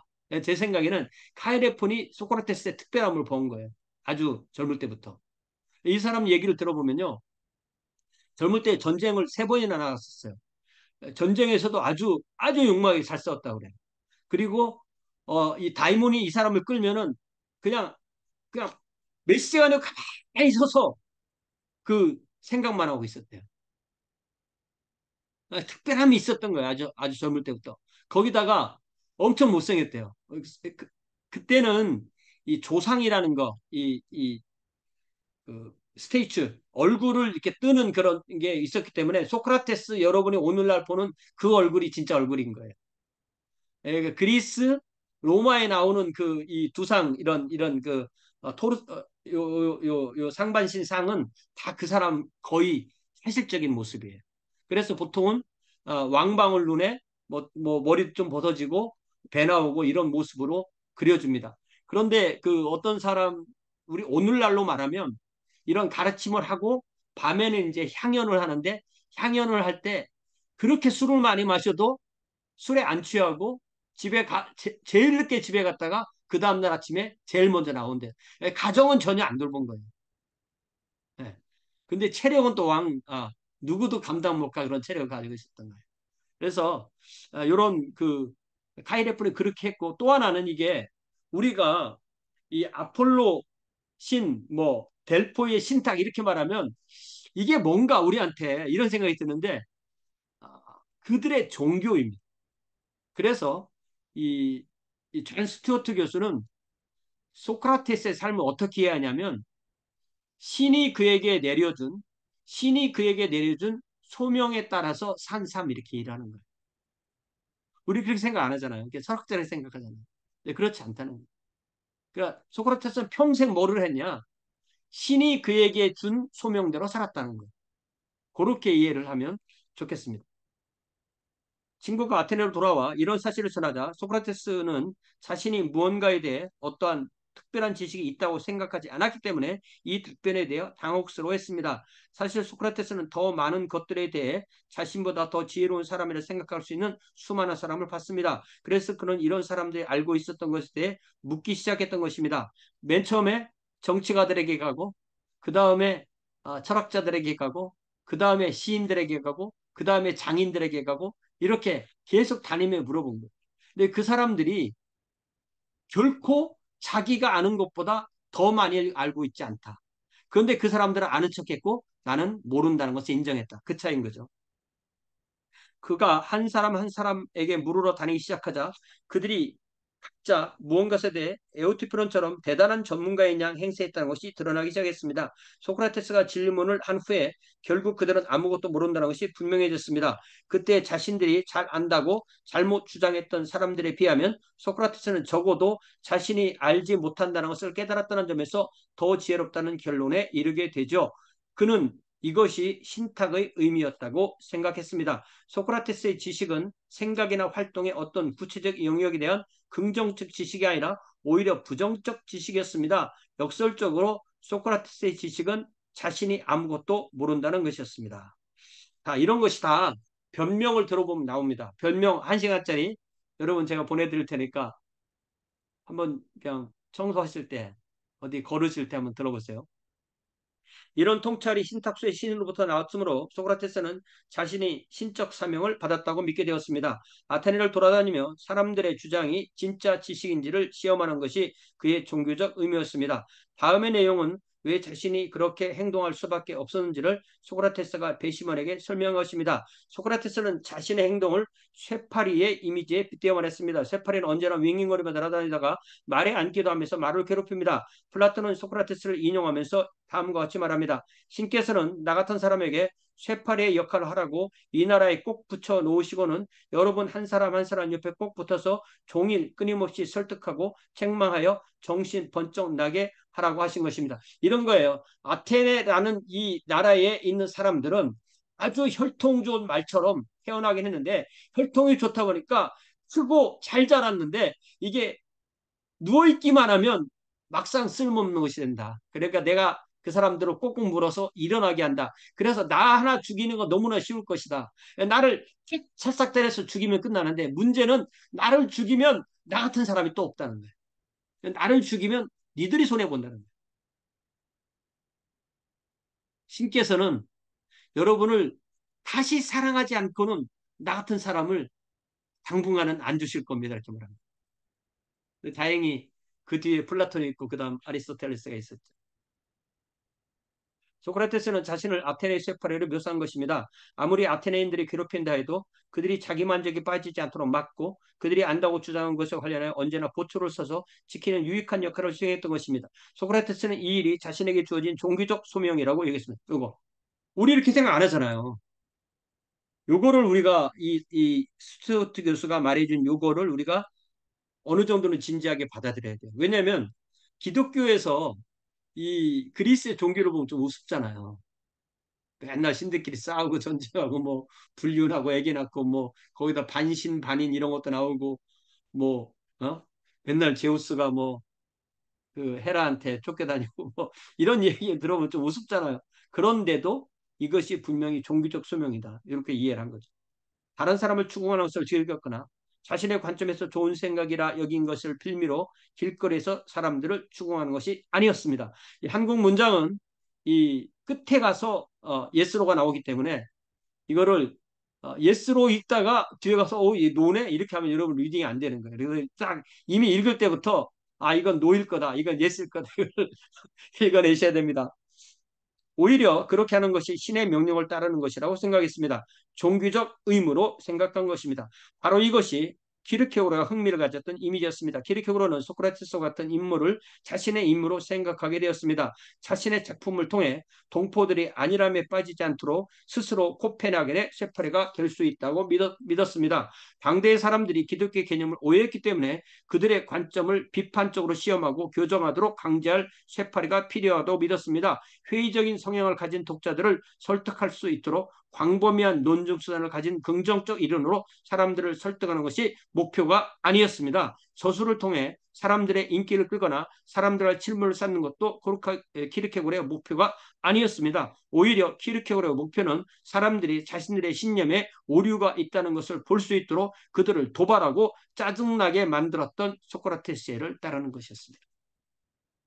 그 유명한 한 가지 예가 나로 인하여 실족하지 않는 사람은 복이 있도다. 어디에요? 몇 장, 몇 장입니까? 마태복음 11장 7절인가요? 이게 장절이 쫙쫙 나와야 되는데. 자, 마태복음 11장. 요한이 옥에서 그리스도에게 제자들을 보내죠. 오실 그이가 당신입니까? 다른 일을 기다리오리까? 그러니까 예수께서 맹인이 보며 복 걷는 사람이 걸으며 나병한 자가 깨끗함을 받으며 못 듣는 자가 들으며 죽은 자가 살아나며 가난한 자에게 복음이 전파된다. 예수님의 사역을 다 해결줬어요. 그리고 6절에 누구든지 나로 인하여 실족하지 아니한 자는 복이 있도다. Blessed is the man who does not fall, uh, fall away on account of me. 이게 어 이게 그 넘어진다로 번역했는데 이게 원래 의미는 공격받지 않는 이런 말이에요. 나로 인해서 공격받아서 넘어지지 않는 사람만 복되는 거예요. 그러니까 예수가 메시아로 오셨지만 하나도 메시아 같지 않을 수도 있어. 이렇게 내가 해도 메시아가 아니라고 생각하는 사람이 있답니다. 심지어 침례 요한까지도. 그러니까 이 예수님을 100% 메시아야. 난 한 번도 고민 안, 해, 안 해봤어. 우리 아버지도 그랬고, 우리 할아버지도 그랬고, 예수는 메시아라는 거 외에는 다른 옵션이 없어. 나는 그것으로 한 번도 의심 안 해봤어. 고민 안 해봤어. 그거는 가짜라고 말하는 거예요. 기르케그로는.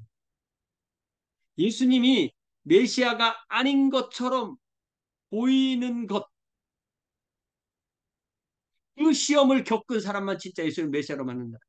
그래서 우리가 이사에서 53장에 나오는 것처럼 그 막상 여러분이 예수님을 만나면 막상 여러분이 그 복음서에 나오는 그 예수님을 만나면 나는 그 열두 제자나 뭐 그, 그런 제자들처럼 예수님 배신하지 않아. 나는 달라.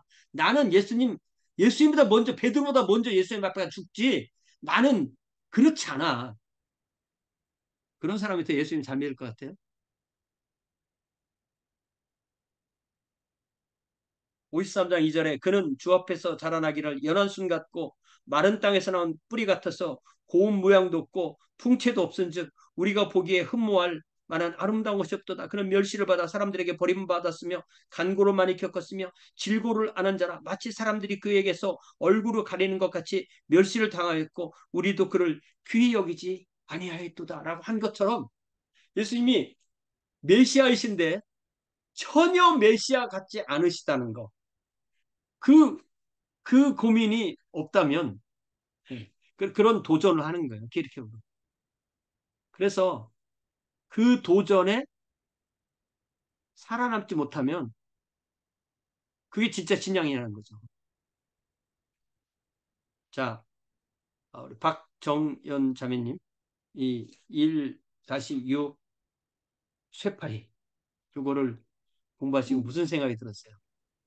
어, 네, 좀 여러 가지 생각이 이제 들었는데요. 어, 어떤 그 소크라테스나 이 키르케고르가 어떠한 종교적인 소명이 있었길래 이렇게 박해를 받으면서 이렇게 사람들한테 미움을 받으면서 어, 그 소명을 실현하려고 했는지 그러니까 그 그러니까 조금 어, 좀 여운이 남았고요.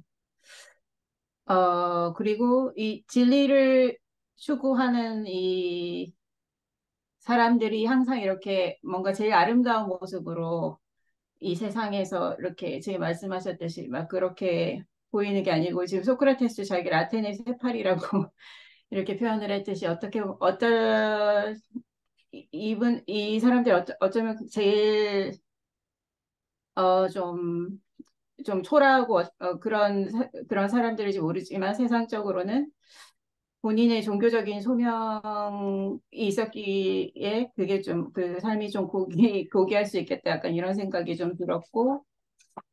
그리고 소크라테스가 이제 막 진리를 추구한다고 이제 하는 그 진리가 이 그 그 하나님이 얘기하는 하나님이 얘기하는 그 말씀이랑 얼마나 이게 일치를 하는, 하는지에 대한 약간 궁금함이 들었었어요. 그 지금 소크라테스가 추구하는 그 좋은 진리가 질문인데요. 그 마지막 질문이 굉장히 중요한 질문인데 무언가는 누군가 무언가는 있는데 모른다는 거예요. 네, 그렇기 때문에 그 그리스 문명권에 기독교의 복음이 전파됐을 때 그들이 예수를 믿기 시작했던 거죠. 음, 어, 그리고 아, 조금 아까 그 미움이라는 단어를 썼는데 그게 아주 네, 핵심이에요. 이 소크라테스 변명을 들어보면 소크라테스가 그렇게 그 시대의 모든 사람을 까고 다녔을 때 자기에게 돌아온 건 미움이었다는 거예요. 그래서 그 미움 때문에 죽인 거예요, 소크라테스가. 네. 그렇게 보면 예수님이 죽이심, 죽임을 당한 것도 굉장히 비슷한 거죠. 예. 그, 그 시대의 그 권, 그 기득권자들, 에게 얼마나 미움과 질투를 어, 받으셨어요. 우리 주님께서. 그리고 이 민중의 그 사랑을 받는다 이렇게 생각했기 때문에 그런 것도 좀 있었습니다. 굉장히 중요한 거잘 어, 지적하신 것 같아요. 자, 오세영 자매님 그 어, 카메라 좀 잘 보이게 해주시고요. 어, 요, 요 지금 우리가 한 이 쇠파리를 보고 뭘 느끼셨습니까? 저는 그 소크라테스의 경우에 미움이 중요하다고 방금 말씀하셨잖아요. 근데 저는 이 부분을 읽고 이제 세파리라는 거의 역할로서 케르케고르가 자기 자신을 정의를 했을 때 이게 지금의 시대에도 되게 필요한 존재라는 생각이 들기도 했었는데 한 가지 제가 어 약간 어, 우리는 근데 미움을 받는 존재가 되기보다는 그리스도를 전하는 사람으로서 굳이 이렇게 짜증이나 미움을 유발시키면서까지 이런 걸 해야 되나 그걸 좀 긍정적으로 할 수 있는 방법은 없을까 하는 생각이 좀 들었었습니다. 어, 네. 키르케고르에 대한 창조적 이해입니다. 예. 나는 반드시 미움을 받아야 돼. 예? 무릇 경건하고 사, 경건하게 살고자 하는 자는 핍박을 받으리라. 내가 핍박을 안 받으니까 나는 신앙이 없나 봐. 나 어떻게 핍박을 받을까? 그래서 막 튀는 행동하고 계속 핍박받으려 노력하는 건 그것 좀 아닌 것 같잖아요. 그것 좀 자기적이잖아요. 예. 그래서 꼭 미움을 받지 않고 꼭 핍박을 안 받아도 그들에게 어떻게 쇠파리의 역할을 할 수 있을까? 굉장히 창조적인 아이디어라고 생각합니다. 자, 1-7 소크라테스의 다이몬. 그 다이몬이 조금 어, 어렵게 느껴질 수 있어요. 그렇지만 아, 요것도 우리가 기독교와 너무 연결시키지 말고 성령과 너무 연결시키지 말고 뭐 그냥 쉽게 생각할 때 그냥 소크라테스의 양심이 그에게 그렇게 말한 거다. 이렇게 말할 수도 있고요. 아니면 그냥 실제로 어떤 신의 지배를 받았을 수도 있다. 이렇게 생각할 수도 있어요. 소크라테스에게 제기된 혐의 중 또 다른 하나는 아테네에서 섬기지 않았던 이방신을 섬겼다는 것입니다. 이것은 소크라테스가 다이몬이라 불렀던 어떤 존재를 의미합니다. 다이몬은 그리스어 문자적으로는 신 혹은 영을 의미합니다. 그러니까 데몬과 같은 어원이에요. 소크라테스의 어, 플라톤의 대화편에서 소크라테스의 다이몬을 일종의 개인의 영 혹은 개인에게 충고해주는 내적 음성으로 언급하고 있습니다. 현대 학자들은 이 의미를 해석하는데 애를 먹고 있습니다. 어떤 이들은 이것을 양심 소리로 해석하려고 하는 반면 다른 이들은 이것을 수호천사와 같은 존재력입니다. 소크라테스는 재판에서 다이몬에 대해 다음과 같이 말합니다. 아주 어릴 때부터 내가 어떤 신의 음성 또는 신적인 음성을 듣고 거기에 따라 움직이기 때문입니다. 이런 일은 어릴 적부터 시작되었습니다. 이것은 어떤 음성으로 내게 들어와서 언제나 막 하려는 일을 하지 못하게 막으면서도 어떤 일을 하려고 강요한 적은 단 한 번도 없습니다. 이게 굉장히 특이한 거예요. 성령께서는 우리가 나쁜 것을 하려고 하려면 하지 말라고 하시고 또 좋은 것을 하라고 격려하실 거예요. 그런데 이 다이몬은 나쁜 것만 하지 말라는 거예요. 그래서 소크라테스는 뭐라고 예를 들자면 굉장히 예를 자세하게 드는데 뭐라고 예를 들자면 내가 젊을 때 정치에 참여하라고 했었는데 그때 다이몬이 막았다. 그래 내가 만약 그때 정치에 참여했으면 난 이렇게 70살까지 살지 못했을 것이다. 그 전에 죽었을 것이다. 이렇게 말해. 그래서 다이몬이 나를 정치에 참여하지 못하게 해서 내가 철학자의 길을 가게 됐고 그래서 내가 오늘 이렇게 70살까지 살면서 이 소크라테스를 깨우는 이 일을 하고 있다. 이렇게 얘기합니다. 그래서 우리가 다이몬은 부정의 영이다 이렇게 생각하잖아요. 부정적 영이다 이렇게 생각하잖아요. 잘 보세요. 그 얘기는 뭐냐면 다이몬이 하지 말라고 하는 건내 마음대로 해도 된다는 뜻이에요. 그러니까 부정의 영이 아니라 긍정의 영입니다. 이해되시죠? 그러니까 성경을 읽을 때 성경에서 하라는 것만 하면 돼. 라고 말하는 게 더 범위가 넓어요. 성경에서 하지 말라는 것만 안 하면 돼 하면 어떻게 범위가 넓어요. 성경에서 하지 말라는 것만 안 하면 돼가 훨씬 더 범위가 넓은 거예요. 네. 예를 들면 성경에 자동차 타지 말아라 이런 거 있어요 없어요? 네. 그래서 그 사이가 그게 하라는 것만 하면 돼와 하지 말라는 것만 안 하면 돼 이게 정확하게 50% 50%딱 맞으면 좋을 것 같은데 그렇지 않아요. 그 사이에 엄청난 거기 그 영역이 있어요. 그 영역을 자유로 둘 것인지 아니면 그것을 금지로 둘 것인지 성경에서 하라고 한 게 아니기 때문에 여러분 해서는 안 된다. 성경에서 어 뭐 신약 성경에 어 악기를 연주 악기를 가지고 예배를 드려서는 예배를 드려야 된다. 신약 성경에 악기를 가지고 예배 드리는 예가 없다. 그러니까 우리는 어 구약 성경에도 있었으니까 요한계시로 있으니까 우리가 악기도 들고 뭐 마이크도 쓰고 어, PPT 쓰고 다 쓴다. 우리 예배 때 다 쓴다. 과학적인 거를. 그런데 어떤 사람들은 신약 성경의 예배에서는 어, 악기를 쓴 예가 없으니까 우리는 예배 시에 악기를 쓰면 안 된다.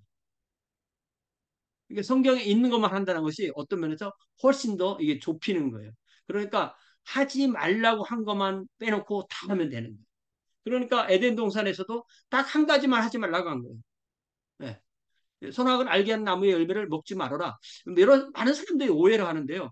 선악을 알게 하는 나무의 열매를 먹지 말라는 말을 들었을 때부터 아담과 하는 무엇이 선이고 악인지를 정확하게 기준을 잡은 거예요. 왜?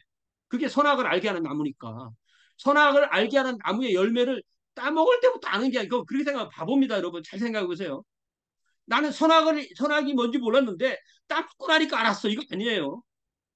이 열매를 먹지 말어 라 먹는 게 악이고 안 먹는 게 선이라는 걸 그때부터 다른 거예요. 이게 율법의 정의예요. 율법은 뭐냐면 그 율법을 줌으로써 무엇이 하나님이 원하시는 것이고 안 하시는 걸 아는 거예요. 다만 그 죄를 범하기 전까지는 지식으로, 지식으로 알고 있다가 아니면 마음의 죄로 알고 있다가 그것을 범하는 순간에 행동으로 아는 것 차이인 거예요. 네. 이렇게 무엇을 하지 말어 이것이 하나 주어졌듯이 예, 소크라테스에게 있어서 다이몬의 역할도 하지 말어 요 말만 했다는 그런 뜻입니다. 소크라테스는 이렇듯 자신 안에 개인적인 내적 음성이 있다고 주장했습니다. 그 음성이 그가 잘못 생각하는 것이나 부정적 결과를 낳을 수 있는 것을 하지 말라고 말함으로써 소크라테스가 곤경에 처하지 않도록 막아줍니다. 그러나 소크라테스가 자신처럼 다이몬 역시 소크라테스가 무엇을 해야 할지에 대해서는 어떤 긍정적 제안을 하지도 않습니다. 그러니까 이렇게 말해요. 내가 정치에 참여하는 거 막어서 안 했어요. 그런데 오늘 내가 여러분의 재판을 받으러 오면서 여러분에게 지금 변론을 하는 이 순간에도 다이몬이 내가 말하는 것 하나도 금지시키지 않았어요. 그래서 내가 여러분에게 그냥 생각나는 대로 말을 해도 다이몬이 스탑시켰으면 나는 안 했을 텐데 예전에 그렇게 스탑시켰듯이 나를 스탑시키지 않고 지금은 그대로 둡니다. 그래서 내가 하는 이 모든 말은 다이몬이 허락한 겁니다. 이렇게 거예요. 소크라테스는 다이몬이 그의 신적 사명을 이룰 수 있도록 돕고 있다고 믿었습니다. 배심원이 소크라테스에게 혐의를 물어 사형을 선고할 때도 그는 재판 내내 자신이 말하거나 행한 어떤 것에도 다이몬이 이의 제기를 하지 않았기 때문에 아무 걱정이 없다고 주장합니다. 그는 이 모든 것이 신의 뜻에 따라 진행되었음을 의미하는 것으로 받아들인 것입니다. 따라서 소크라테스는 두려워할 것이 아무것도 없다고 결론냅니다. 다시 말하면 소크라테스는 이 두 번째 재판에서 그러니까 처음에 이제 281대 220으로 이제 났다가 그 다음에 어, 이 변론을 할 때 변론을 할 때 처음에 뭐라고 말하냐면 어, 여러분이 정말 나한테 이 형벌을 네가 한번 골라보라고 말하면 나는 영빈관에서 나는 지금까지 가난하게 살았으니까 나는 일평생을 여러분을 깨우는 역할을 했으니까 정말 그 전차 마차 경주에서 이긴 사람보다도 훨씬 더 더하게 나를 이 영예를 가지고 먹여라. 내가 영비말에 이게 무슨 얘기인지 아세요? 그 말에는 진담도 있고 도발할 말도 있는 거예요. 정말 너희들이 나를 안다면 그렇게 해야 되고 내 이 말을 듣고 짜증이 나서 나를 죽여라 이런 말이 되는 거예요. 그래서 내가 뭐 어, 벌금형을 받을까요? 뭐 쭉쭉 이렇게 하면서 끝날 때 뭐라고 말하냐면 어, 2차 투표를 할 때 자기가 사는 쪽으로 간다고 생각을 전혀 안 한 거예요. 끝나면서 뭐라고 하냐면 자 이제 끝났습니다. 나는 죽음을 향해 가고 여러분은 삶을 향해 갑니다. 그러나 어느 길이 더 좋은 길일지는 신밖에 모릅니다. 이렇게 끝나는 거예요. 변론이. 이 사람은 일부러 죽음을 향해서 간 거예요. 그래서 14장 어, 요한복음 14장에서 우리 주님께서 말씀하신 것과 굉장히 비슷해요. 그러니까 소크라테스가 인간으로 볼 때는 인간으로 볼 때는 아, 그는 하나님이 아니니까. 인간으로 볼 때는 저렇게 훌륭한 인간이 또 있나 할 정도로 죽음을 두려워하지 않고 죽음을 환영했던 거예요. 70세에 내가 지금 다른 나라로 추방돼서 거기 가서 또 젊은이들 데리고 그거 하고 있으면 그, 그, 그 꼴이 되게나 아름답겠다. 이렇게 얘기했대요. 그러면서 우리 주님께서도 뭐라고 말씀하시냐면은 10장이죠. 10장에서 10장이죠. 17절에 내가 내 목숨을 버리는 것은 그것을 내가 다시 얻기 위함이니 이로 말미암아 아버지께서 나를 사랑하시느니라 이를 내게서 빼앗는 자가 있는 것이 아니라 내가 스스로 버리노라 나는 버릴 권세도 있고 다시 얻을 권세도 있으니 이 계명은 내 아버지에게서 받아노라 물론 소크라테스는 자기가 죽으면 영혼의 세계에 가서 기라산 같은 영혼들과 문, 산파소로 하면서 대화를 나눌 것을 기다렸어요. 우리 주님은 죽으시고 장사되고 다시 생명을 얻을 예, 질적으로 차이가 나지 비교가 안 되는 거죠. 예, 잘 보시면요. 하나님께서 아담과 하와에게 이것을 먹으면 죽는다. 그 사람들은 죽음이라는 게 뭔지 몰랐던 사람이에요. 예. 이거 먹어, 먹으면 죽는다. 죽는다는 게 뭐지? 이럴 사람들이에요. 그런데 우리 주님께서 내가 죽고 살아내리라 그랬을 때 제자들이 뭐라고 말하냐면 사람이 산다는 게 뭐지? 이렇게 얘기했어요. 왜냐하면 아무도 부활의 걸 몰랐을 때이기 때문에. 그리고 예수님 이후로 우리가 이 부활한 것도 사실은 못 보잖아요. 그러니까 사실은 이 부활이 우리 이, 이 부활이 기독교의 그래서 핵심이 되는 겁니다. 자, 그래서 좀 더 나가보면 기독교로도 같은 생각을 했습니다. 전통적인 기독교 관점에서 볼 때 우리는 하나님이 특별한 목적을 갖고 우주를 운행하신다는 생각 혹은 신의 섭리와 같은 개념에 대해 이야기하는 것에 익숙합니다. 자신의 삶과 저자로서의 생애에 대한 성찰로서 저자로서 나의 작품에 대한 관점이라는 작품에서 키르케고르는 보이지 않는 하나님의 통치, 거버넌스, 예. 그 뒤에 있는 단어는 그 덴마크어입니다. governance가 자신의 삶을 이끌었다고 확신을 말하고 있습니다. 하나님께서 그의 삶을 계획하셨고 그가 자신도 모르게 그 삶을 실현시켜 온 것입니다. 키르케고르가 신적 계획을 언제나 이해했던 것은 아니었지만 소크라테스의 다이몬이 소크라테스를 인도했던 것과 같은 방식으로 어떤 의미에서 하나님께서는 자신의 저술 활동에서 그를 인도하셨다고 느꼈습니다. 소크라테스처럼 키르케로도, 키르케고로도 자신의 글을 쓰는 것을 일종의 신적 사명으로 여겼습니다. 자신이 해를 입지 않도록 다이몬이 지켜주었다고 소크라테스가 믿었던 것처럼 키르케고로도 하나님께서 그를 올바른 방향으로 인도해 주셨다고 믿었습니다. 슬픔의 미늘이 그의 마음에 꽉 받고 있었지만 그래도 나의 삶은 하나님이 인도하시다 이렇게 말했어요. 자, 소크라테스의 다이몬 또 키르케고의 삶을 인도했던 하나님의 통치, 하나님의 주권에 대해서 우리 조영웅 전사님은 어떻게 생각하십니까? 그 아이러니를 통해서 진리를 더 강화시킨다는 게 어, 너무 멋있고요. 어, 우리가 진리라고 얘기했을 때 믿지 않는 사람 입장에서는 받아들이지 않기 때문에 그것을 반대적인 질문을 해서 그들이 가지고 있는 사상이나 종교성이 어, 진리가 아닌 것을 발견하게 되는 그런 과정들이 너무 어, 아름답고 너무 멋있는 것 같습니다. 그래서 그 소크라테스가 접근했던 그런 이제 그런 사명들이 어, 그 아테네 정치나 시민들에게 훌륭한 그 변화의 그, 어, 그 에펙트를 준 것 같고요. 그래서 그, 어, 사형이라는 어마어마한 결정까지 보게 된 것 같습니다.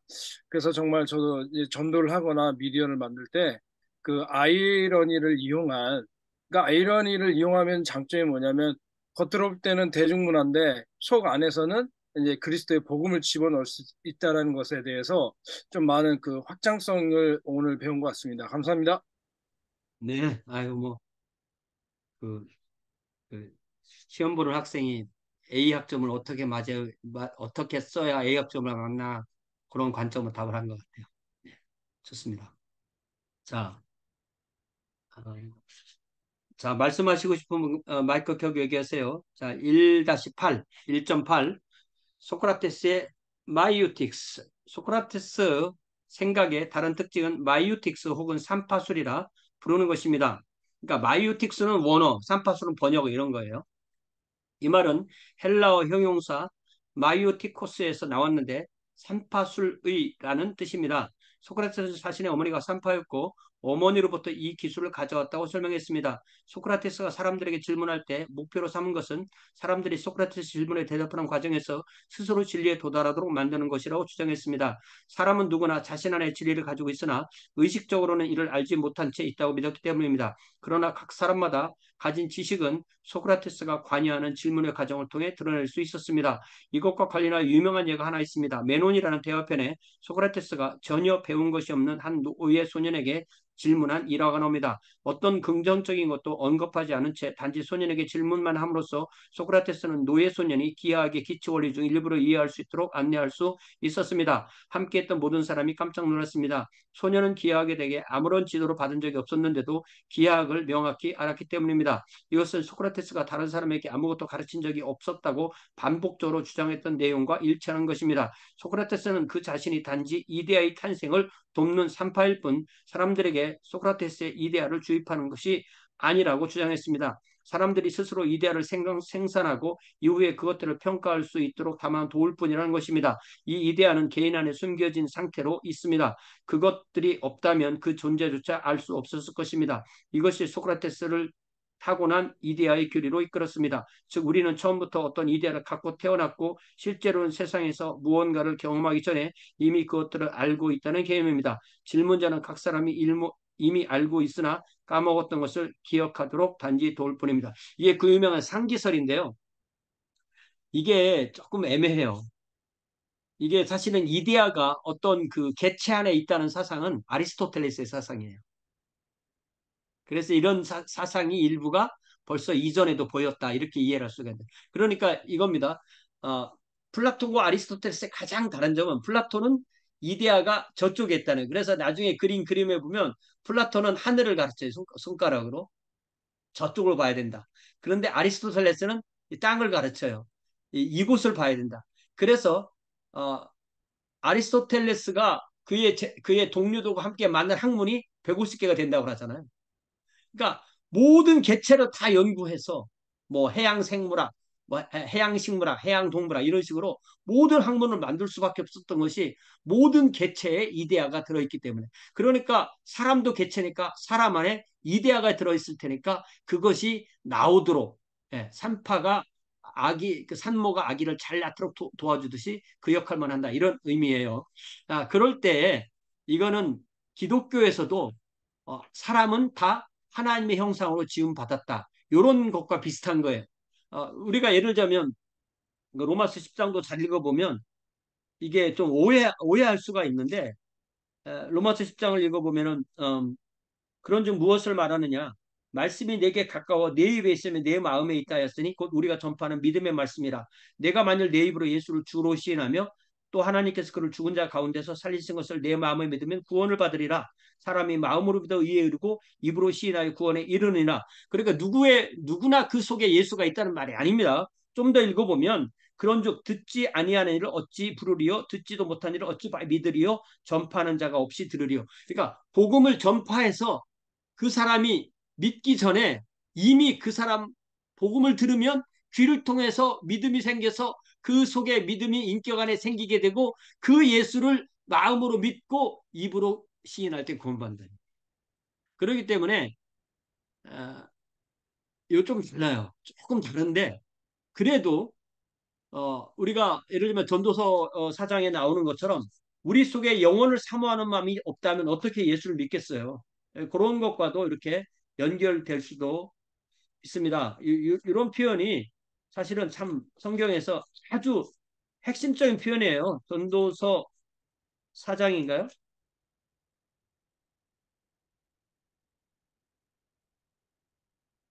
3장. 하나님이 모든 것을 지으시되 11절에 때를 따라 아름답게 하셨고 또 사람들에게는 영원을 사모하는 마음을 주셨느니라. 아, 사람들에게는 영원을 사모하는 마음을 주셨느니라. 그 마음에 복음을 들으면 말씀과 함께 예수가 들어가고 성령께서 그 마음에서 어, 예수님이 들어가신다는 게 성령이 들어가시는 거잖아요. 그래서 그 마음에 죄를 깨닫고 의를 깨닫고 어, 심판을 깨닫고 어, 예수님을 구주자 주로 믿고 고백하고 어, 그렇게 구원 받는 거죠.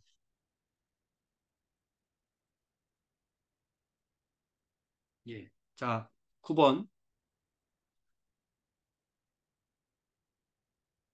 맞나요? 아니죠?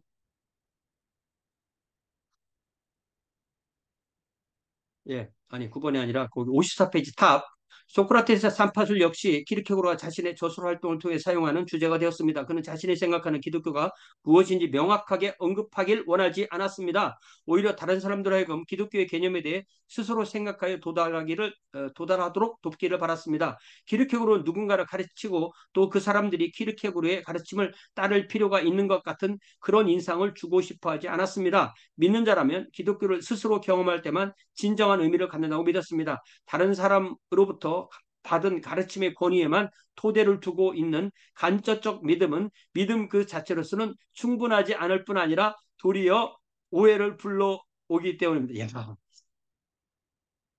그러니까 이 잔 스튜어트 교수님이 고마운 거예요. 이렇게 써주니까. 키르케오를 철학자로 그냥 매도하지 않잖아요. 거기 밑줄 쫙 그어야 되지 않겠습니까? 믿는 자라면 기독교를 스스로 경험할 때만 진정한 의미를 갖는다고 믿었습니다. 다른 사람으로부터 받은 가르침의 권위에만 토대를 두고 있는 간접적 믿음은 믿음 그 자체로서는 충분하지 않을 뿐 아니라 도리어 오해를 불러오기 때문입니다. 자, 한국의 베이직 교회 그 유명한 조 목사님께서 뭐라고 말씀하시냐면 어떤 사람이 어느 날 아, 저는요 담임 목사님 설교는 집밥처럼 맛이 없고 다른 목사님 설교를 들으면 외식처럼 너무 맛있어요. 이, 이, 이 죄를 제가 이 버릇을 어떻게 고칠까 그랬더니 그 목사님이 뭐라고 말하냐면 깜짝 놀라면서 이 사람은 무슨 얘기를 하는가? 담임 목사의 설교가 집밥이라고? 노! 네가 매일 집에서 읽는 성경이 집밥이야. 담임 목사의 설교도 외식이야. 기가 막히지 않습니까? 제가 그래서 그 이야기를 우리 성도들한테 해줬죠. 여러분 일주일에 내 설교 먹고 일주일에 한 번씩 내 설교 먹고 살려고 하면 안 됩니다. 매일 집에서 읽는 그 성경, 그 집밥으로 살아야 된다고 얘기했어요. 자신, 자신이 자신이 읽고 자신이 깨달은 그 그거 누가 얘기해 준 게 아니라. 네. 기독교로는 기독교란 각 개인 자신이 지닌 내적 관계가 그것의 전부라고 주장했습니다. 따라서 다른 사람들로 하여금 자신 안에서 이것을 찾도록 돕는 것을 자신의 목표로 삼았습니다. 소크라테스처럼 자신도 이것을 촉진할 수 있다고 믿었습니다. 그러나 결국 진리를 발견하거나 자신 안에서의 내적 관계를 발견하는 것은 궁극적으로 각 사람 자신이었습니다. 자, 아이폰님 혹시 말씀하시려면 켜고 말씀하시고 없으면 다시 우리 박연선 자매로 돌아갑니다. 자, 요거 마이오틱스 요거 요거 읽고 뭔 느낌 뭔 생각하셨어요?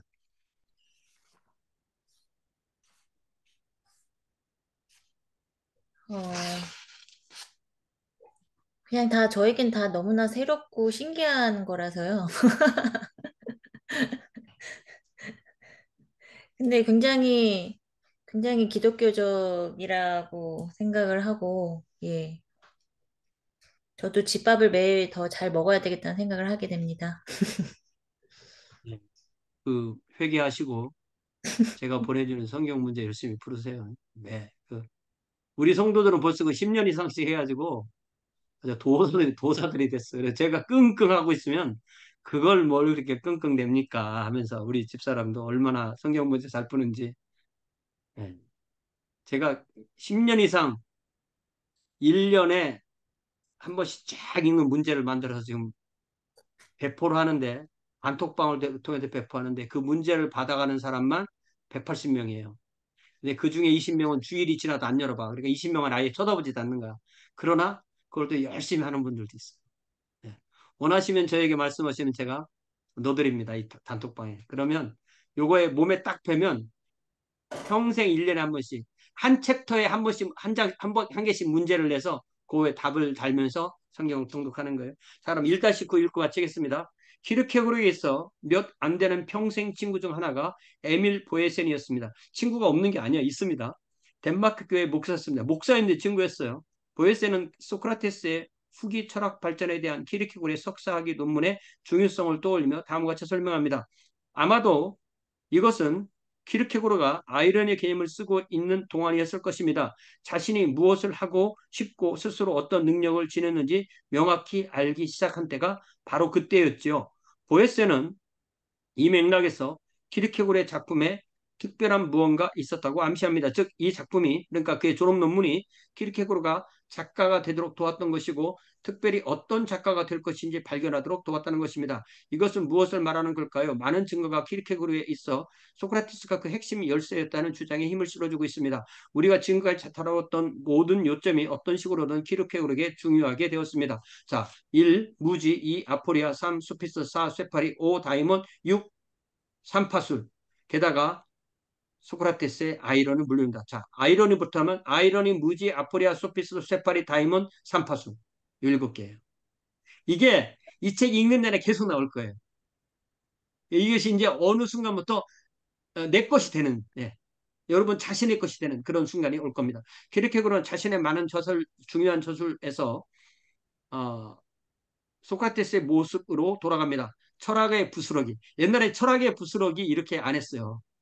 철학의 단편 이렇게 번역했던 건데 이, 이 책에서 이제 철학의 부스러기로 번역. 왜냐하면은 이게 어, 나사로가 그 부자의 상에서 떨어지는 부스러기 아니면 어, 수로보니게 여인이 그 주인의 상에서 떨어지는 부스러기. 그러니까 철학이라는 것에서 우리가 얻어낼 것은 부스러기밖에 없다. 그런 의미예요. 그러니까 철학적인 책을 그렇게 썼지만 철학의 역할은 부스러기다. 이런 의미입니다. 부스러기를 통해 기독교가 대주되는 배움의 형태로서 소크라테스를 비교적 상세하게 논의합니다. 그러니까 어, 이 키르케고르는 소크라테스를 제한적으로 사용한 거예요. 무조건 걸다 따라한 게 아닌 겁니다. 마찬가지로 1844년에 쓴 풍자적 작품 서문에서도 역시 소크라테스를 언급합니다. 인생길의 여러 단계에서 In vino veritas In vino veritas는 이게 에, 사람들이 술에 취하면 자신도 모르게 진리를 발설한다 이런 말이에요. 그래서 제가 이걸 번역할 때 우리 이창호 목사님한테 이거 취중진담이라고 번역하자. 취중진담이라는 노래가 있습니다. 저는 모르지만 예, 그 노래를 부를 줄 아는 분들이 있을 수도 있죠. 아, 뭐,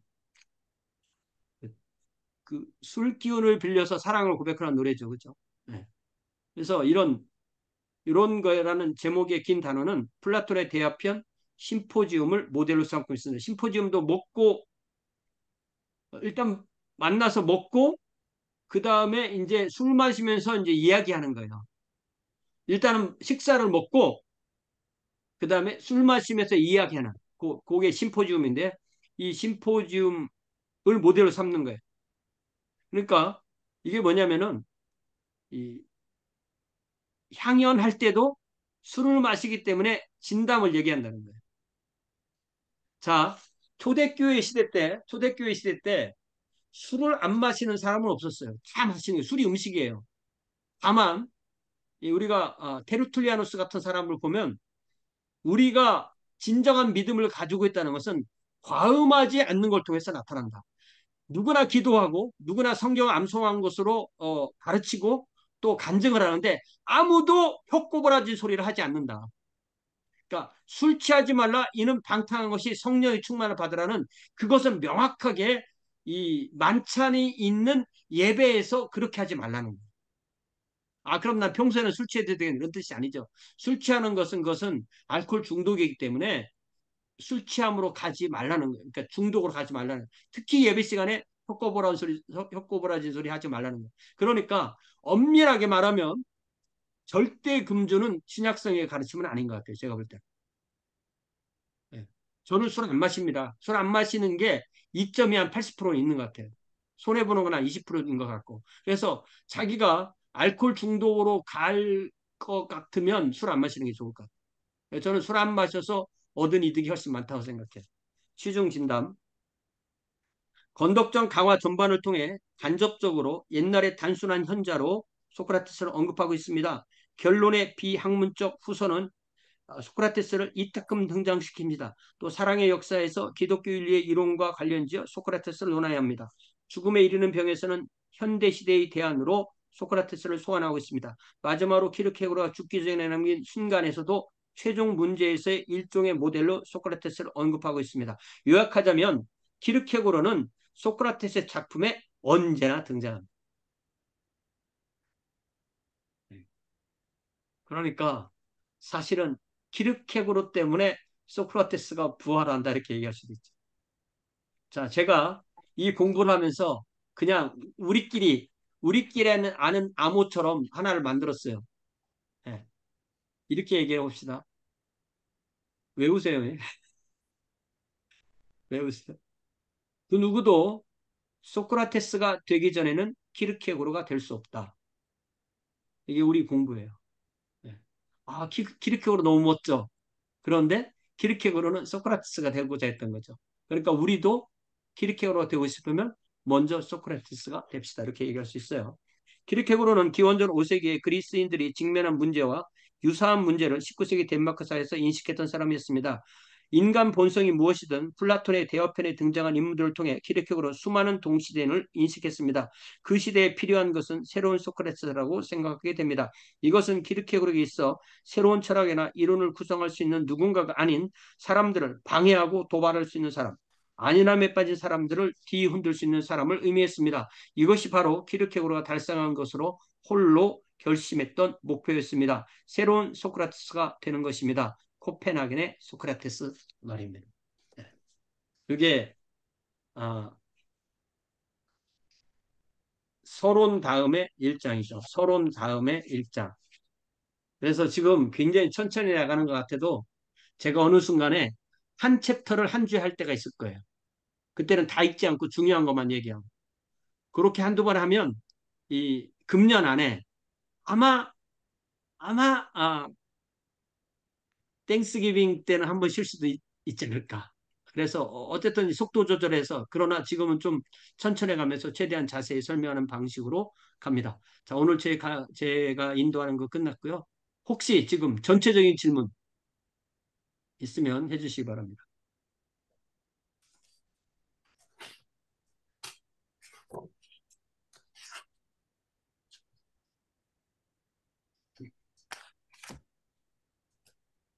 질문 있는데요. 그, 말씀하시죠. 어, 지금 먼저 여기서, 본인 소개부터 먼저 본인 소개 오늘 처음 왔죠? 아, 지난주에 왔다니 보- 본인 소개 못했죠? 아, 안녕하세요. 통성명 하시고 예. 안녕하세요. 저는 최정인 교수님께 공부를 많이 배운 문승혜 전도사이고요. 조지아에 살고 있습니다. 더, 더 예, 이제 할까요? 질문. 네, 네네, 질문. 질문. 지금 여기에 책들이 많이 나열돼 있는데요. 이 책도 마찬가지고, 그, 키르케고르의 그 철학책을 이렇게 슬쩍슬쩍 보면 성경에 대한 주해가 많이 있지는 않은데, 그 서문에 보면은 키르케고르가 성경에 대한 주해를 많이 했다고 돼 있잖아요. 그러면 네. 그런 거는 어느 책들에서 찾아봐야 되나요? 다시 얘기합니다.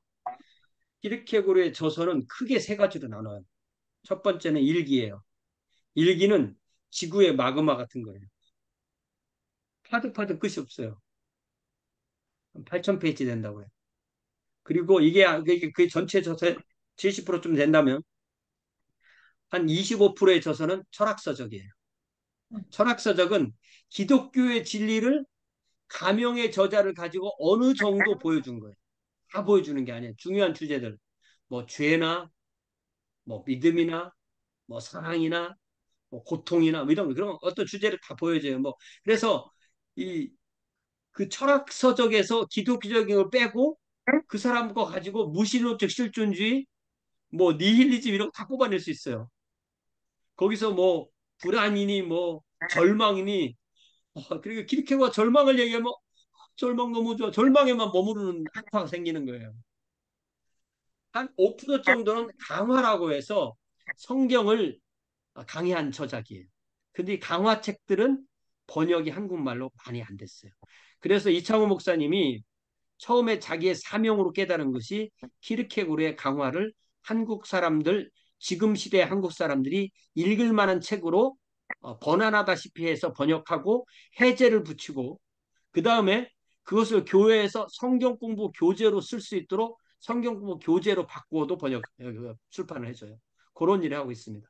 그래서 이 강화를 여러분 이 교과서에 이, 이 책에 뒤에 보면은 이게 이제 조금 페이지 235페이지에 보면 요 도표 있잖아요. 235페이지에 나온 이 도표가 이, 이 사람이 철학 서적을 쓸 때 그 시대의 강화 서적을 다 쓴 거예요, 항상. 위에는 철학 서적, 밑에는 강화 서적이죠. 근데 강화서적은 분량이 적어요. 그렇지만 항상 쓴 거예요.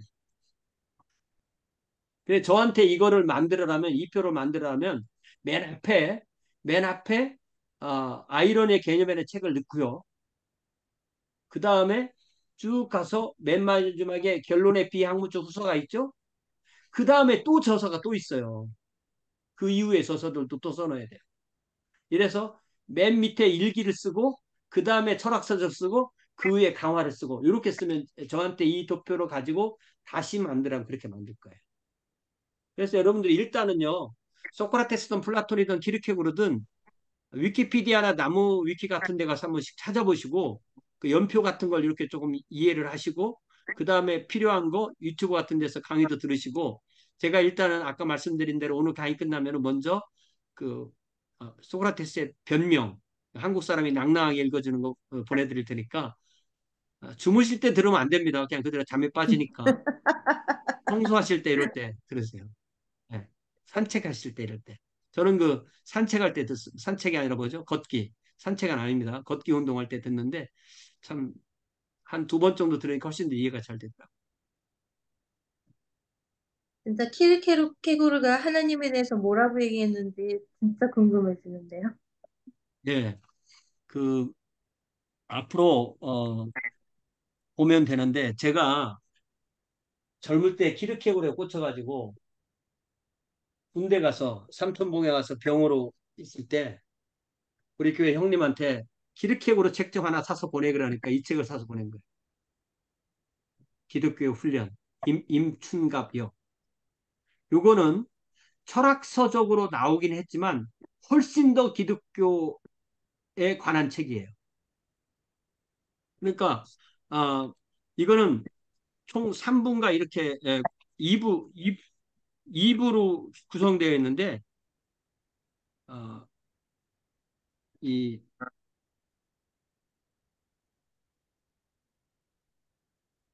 100페이지부터 끝나는 200페이지까지 아, 이게 이게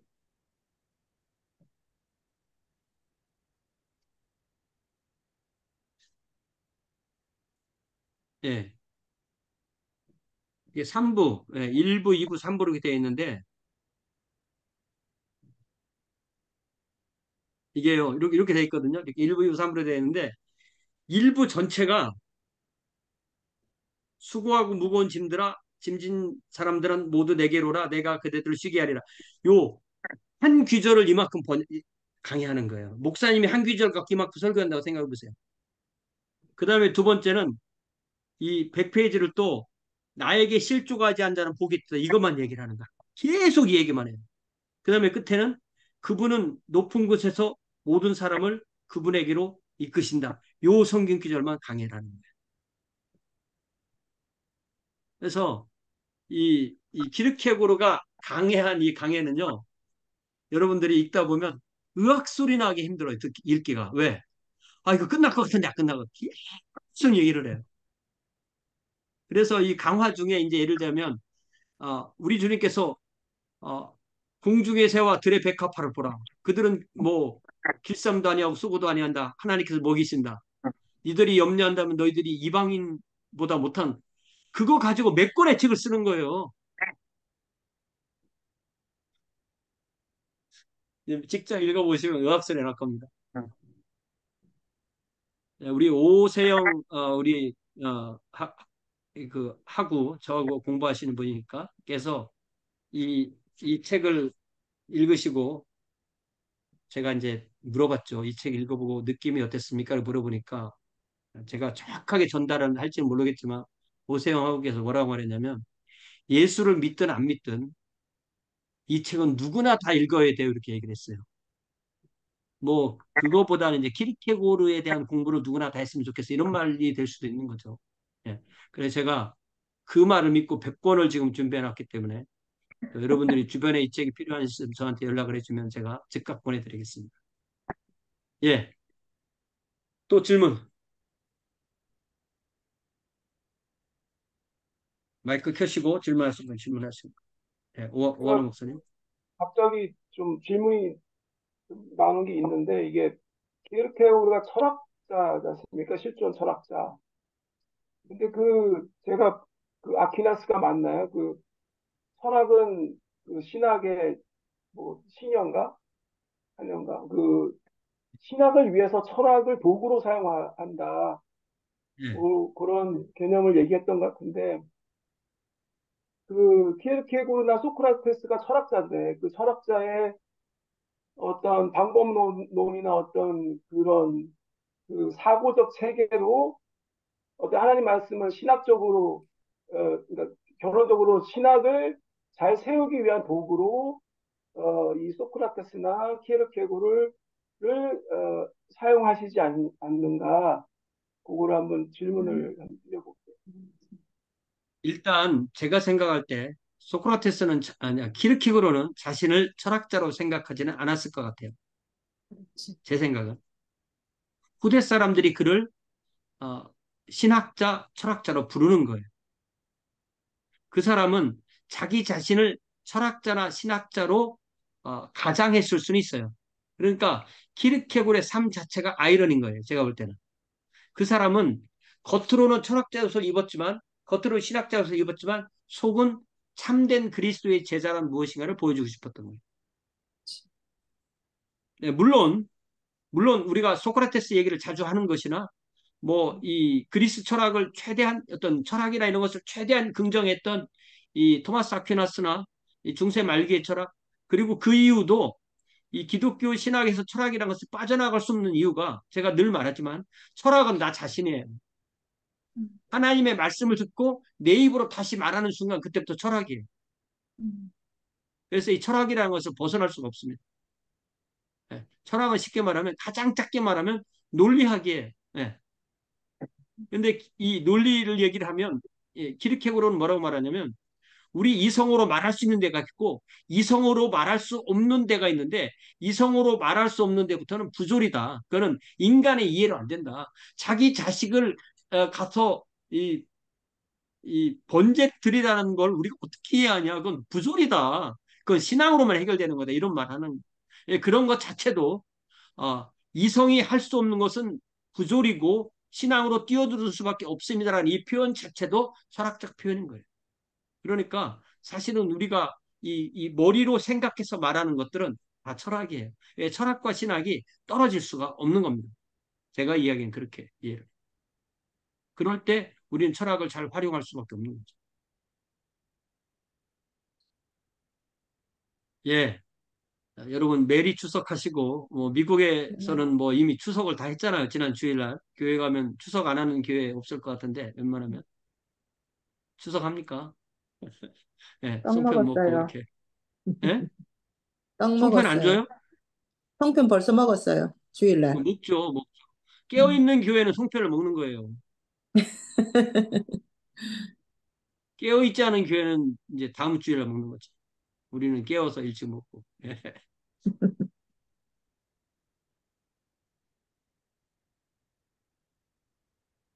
자, 마칩니다. 예, 여러분 더 계시고 싶은 분들은 계셔도 되고 한국에서는 한 분도 안 들어오셨잖아요. 한국에서는 지금 목요일 낮인데 지금 이거 듣고 있으면은 좀 집안에서 좀 이상하게 보이겠죠. 한국은 진짜 이 명절에는 절대 혼자 있으면 안 되잖아요. 아, 이 책이 이 번역이 조금 잘못된 부분도 있고 좀 뭐 실수도 있고 그런데 이제 이 두 번째 할 때는 좀 더 훨씬 더 잘 된 책이 나와야 되는데 두 번째 책이 나오려면 첫 번째 책이 다 소비가 돼야 되는 거죠. 예.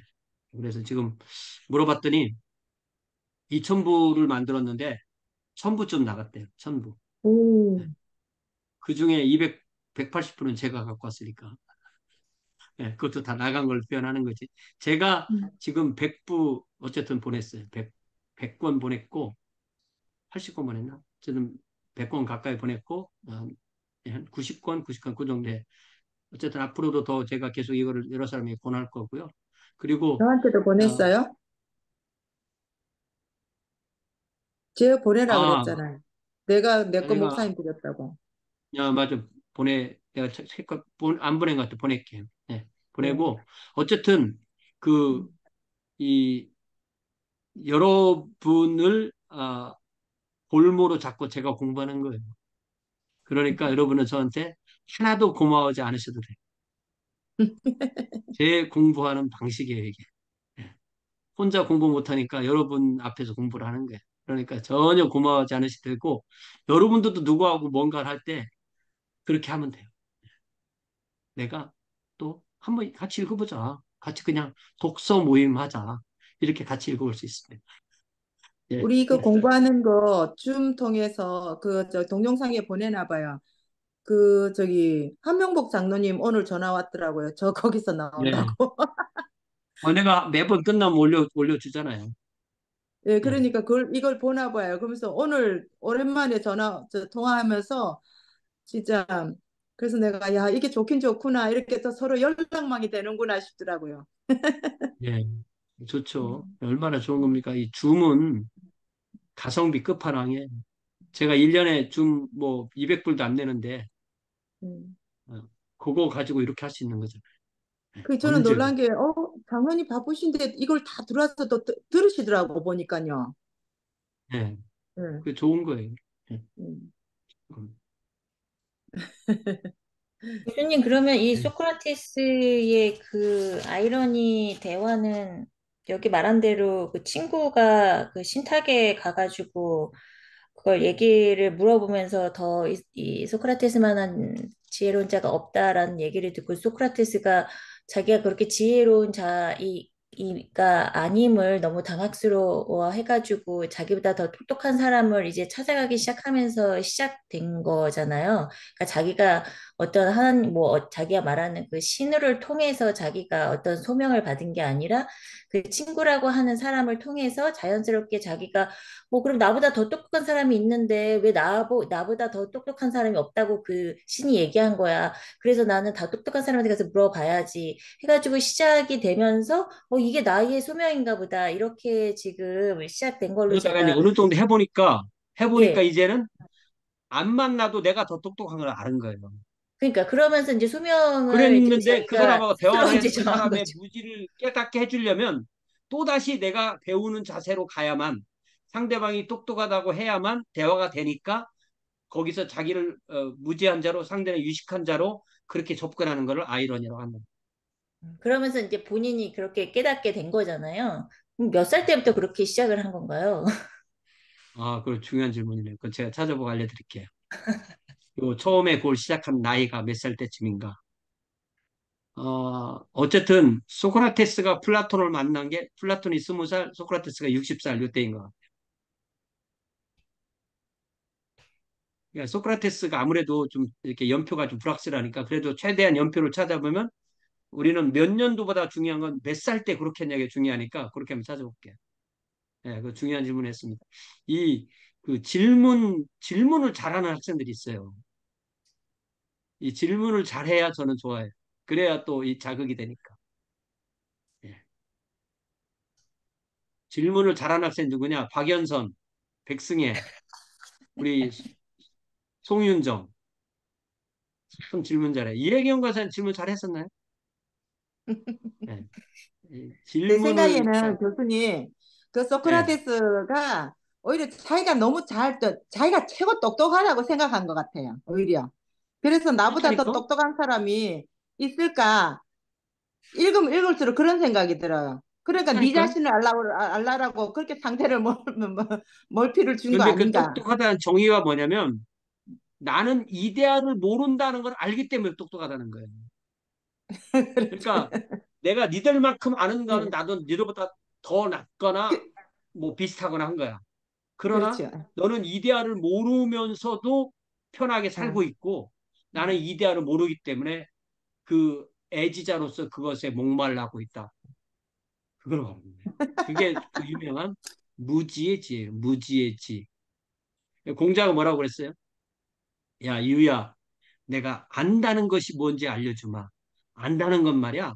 아는 것은 안다고 말하고 모르는 것은 모른다고 말하는 거 그것이 바로 아는 거야. 공자나 소크라테스나 거의 비슷한 시대 사람들이에요. 그러니까 이런 그 정신 문명은요. 회보하든지 제자리든지 그래요. 왜냐하면 정신 문명은 이게 이 DNA로 연결이 안 되는 거예요. 과학 문명은 한번 발전하면 그 다음 사람이 그거 배우고 해서 계속 발전하잖아요. 정신 문명은 시대가 지난다고 발전하지 않습니다. 그래서 주전 800년부터 주전 200년대까지가 서양 이 인류 문명의 축이다 이렇게 말한 사람이 있어요. 야스퍼스라는 사람이 그렇게 말했다는 것 같은데 그잘 생각해 보면 우리가 공부하지 않아도 우리는 이, 이, 이, 이 천년 인류 역사의 지혜를 우리가 갖고 있을 거야. 그렇지 않다는 거예요. 공부하지 않는 한 그냥 우리는 바보같이 사는 거예요. 그렇지, 그렇지. 그건 그렇지. 인문학은 절대 공부 안, 안, 안 하는데 알아지지 않는 거예요. 네, 교수님, 저는 이 아이러니를 네. 생각할 때, 그 키르케르크가 이제 기독교인이 아닌 소크라테스를 모델을 삼아서 이제 그 덴마크 교회를 상대해서 그 기독교 교회에 대해서 경고를 했잖아요.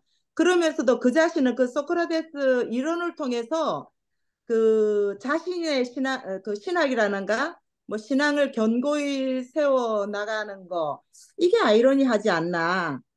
그런 생각하면서 그 자체도 아이러니지. 예. 자신을 통해서 하나님 앞에 가는 거리 이거다 이렇게 하는 것 같다는 생각이 이제 그- 그런 모습을 제가 이제 보면서 권사님이 그 reading이 되는 거예요. 어느 정도 reading이 되는 게 음. 굉장히 중요한 단어 중에 하나가 세워 나간다는 표현이 세워 나간다. 음, 이게 그 건, 건덕이라고 하거든요. 건덕 얼마나 어깨 뭐 건더기도 아니고 덕을 세운다는 말이에요.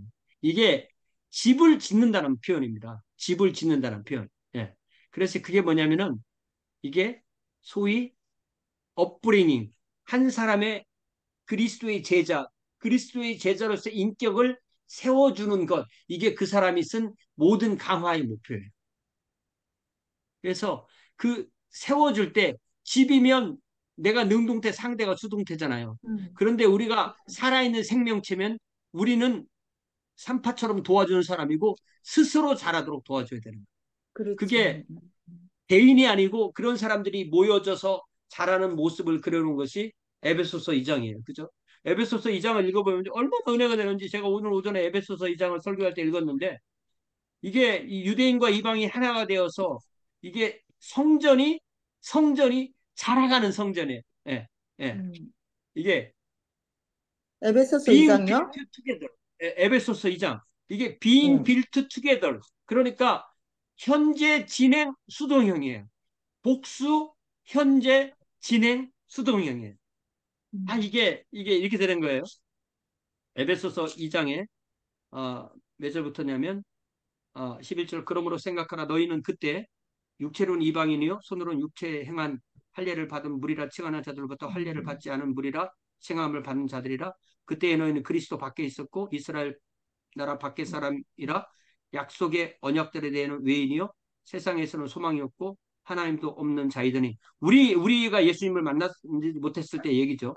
이제는 전에 있던 전에 멀리 있던 너희가 그리스도 예수 안에서 그리스도의 피로 가까워졌느니라 그는 우리의 화평이신지라 둘로 하나를 만드사 육, 원수된 것, 그 중간에 막힌 담을 자기 육체로 오시고 성전에 가면은 유대인의 뜰, 그 다음에 이방인의 뜰이잖아요. 그 사이에 벽이 있고 이 벽을 넘어오는 자는 누구든 죽는다. 죽고 나서 남 원망하지 마라. 너만 원망해라. 그런 패를 붙여놨단 말이에요. 이 담을 우리 주님께서 허셨다는 거예요. 법조문으로 된 계명의 율법을 폐하셨으니 이는 이 둘로 우리 안에서 한 세 사람을 지어 화평하게 하시고 또 십자가로 이 둘을 한 몸으로 하나님과 화목하게 하려 하심이라 원수된 것을 십자가로 소멸하시고 또 오셔서 먼 데 있는 너희에게 평안을 전하시고 이방인이죠. 가까운 데 있는 이들 유대인이죠. 내게 평화를, 평안을 네. 전하셨으니 이는 그로 말미암아 네. 우리 둘이 한 성령 안에서 아버지께로 나아가면 얻게 하랴 하심이라 28절 삼위일체죠. 그로 말미암아 예수 그리스도로 말미암아 우리 둘이 이방인과 유대인이 한 성령 안에서 성령 하나님이죠. 아버지께로 성부 하나님이죠.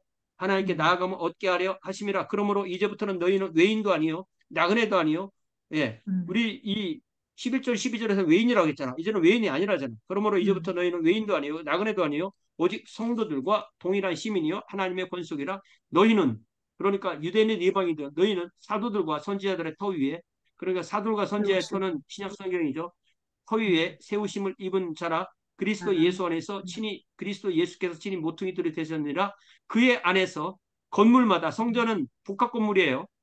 건물마다 서로 연결하여 주 안에서 성전이 되어 가고 너희도 성령 안에서 하나님이 거하시는 초소가 되기 위하여 그리스도 예수 안에서 함께 지어져 가느니라 21절 In him the whole building is joined together and rise to become a holy temple in the Lord and in him you two are being built together 복수 현재 진행 수동 음. 모든 이 세상에 있는 모든 하나님의 성도는 함께 지어져 가고 있다는 거예요. 이게 에베소 한 교회만 그렇다는 게 아니에요. 음. To become a dwelling in which God lives by His Spirit. 그리스도 예수 안에서 하나님 안에서 성령에 의해서 우리가 지어져 가고 있다 이렇게. 아멘. 예, 마치겠습니다. 제가 안 나가니까 여러분 아무도 안 나가서 제가 나가겠습니다. 네. 감사합니다. 감사합니다. 네, 감사합니다. 예. 예, 메리 추석하시고 다시 만납시다. 다음 주에 다시 만납시다. 고맙습니다. 아, 교수님, 예. 그럼 나간다고 안 나간 거 알죠? 예, 예. 우리 누구부터? 예, 이혜경 권사님. 저 단, 아, 네. 예. 아니에요. 제가 질문한 먼저 이분부터 하세요. 먼저 예. 하세요. 오세영 자매님, 오세영 자매님 먼저 하시고. 아, 저 질문 아니고 저 단톡방 초대 좀 부탁드리, 예, 알겠습니다. 초대해도 예. 될까요? 예, 예, 감사합니다. 이제 단톡방에 초대를 안 받아도 들어오시는 이 신박한 기술. 대단하십니다. 예, 예, 권사님. 감사합니다. 아니요, 저한테 질문 없어요. 예, 예, 그럼 끝나겠습니다. 감사합니다. 네.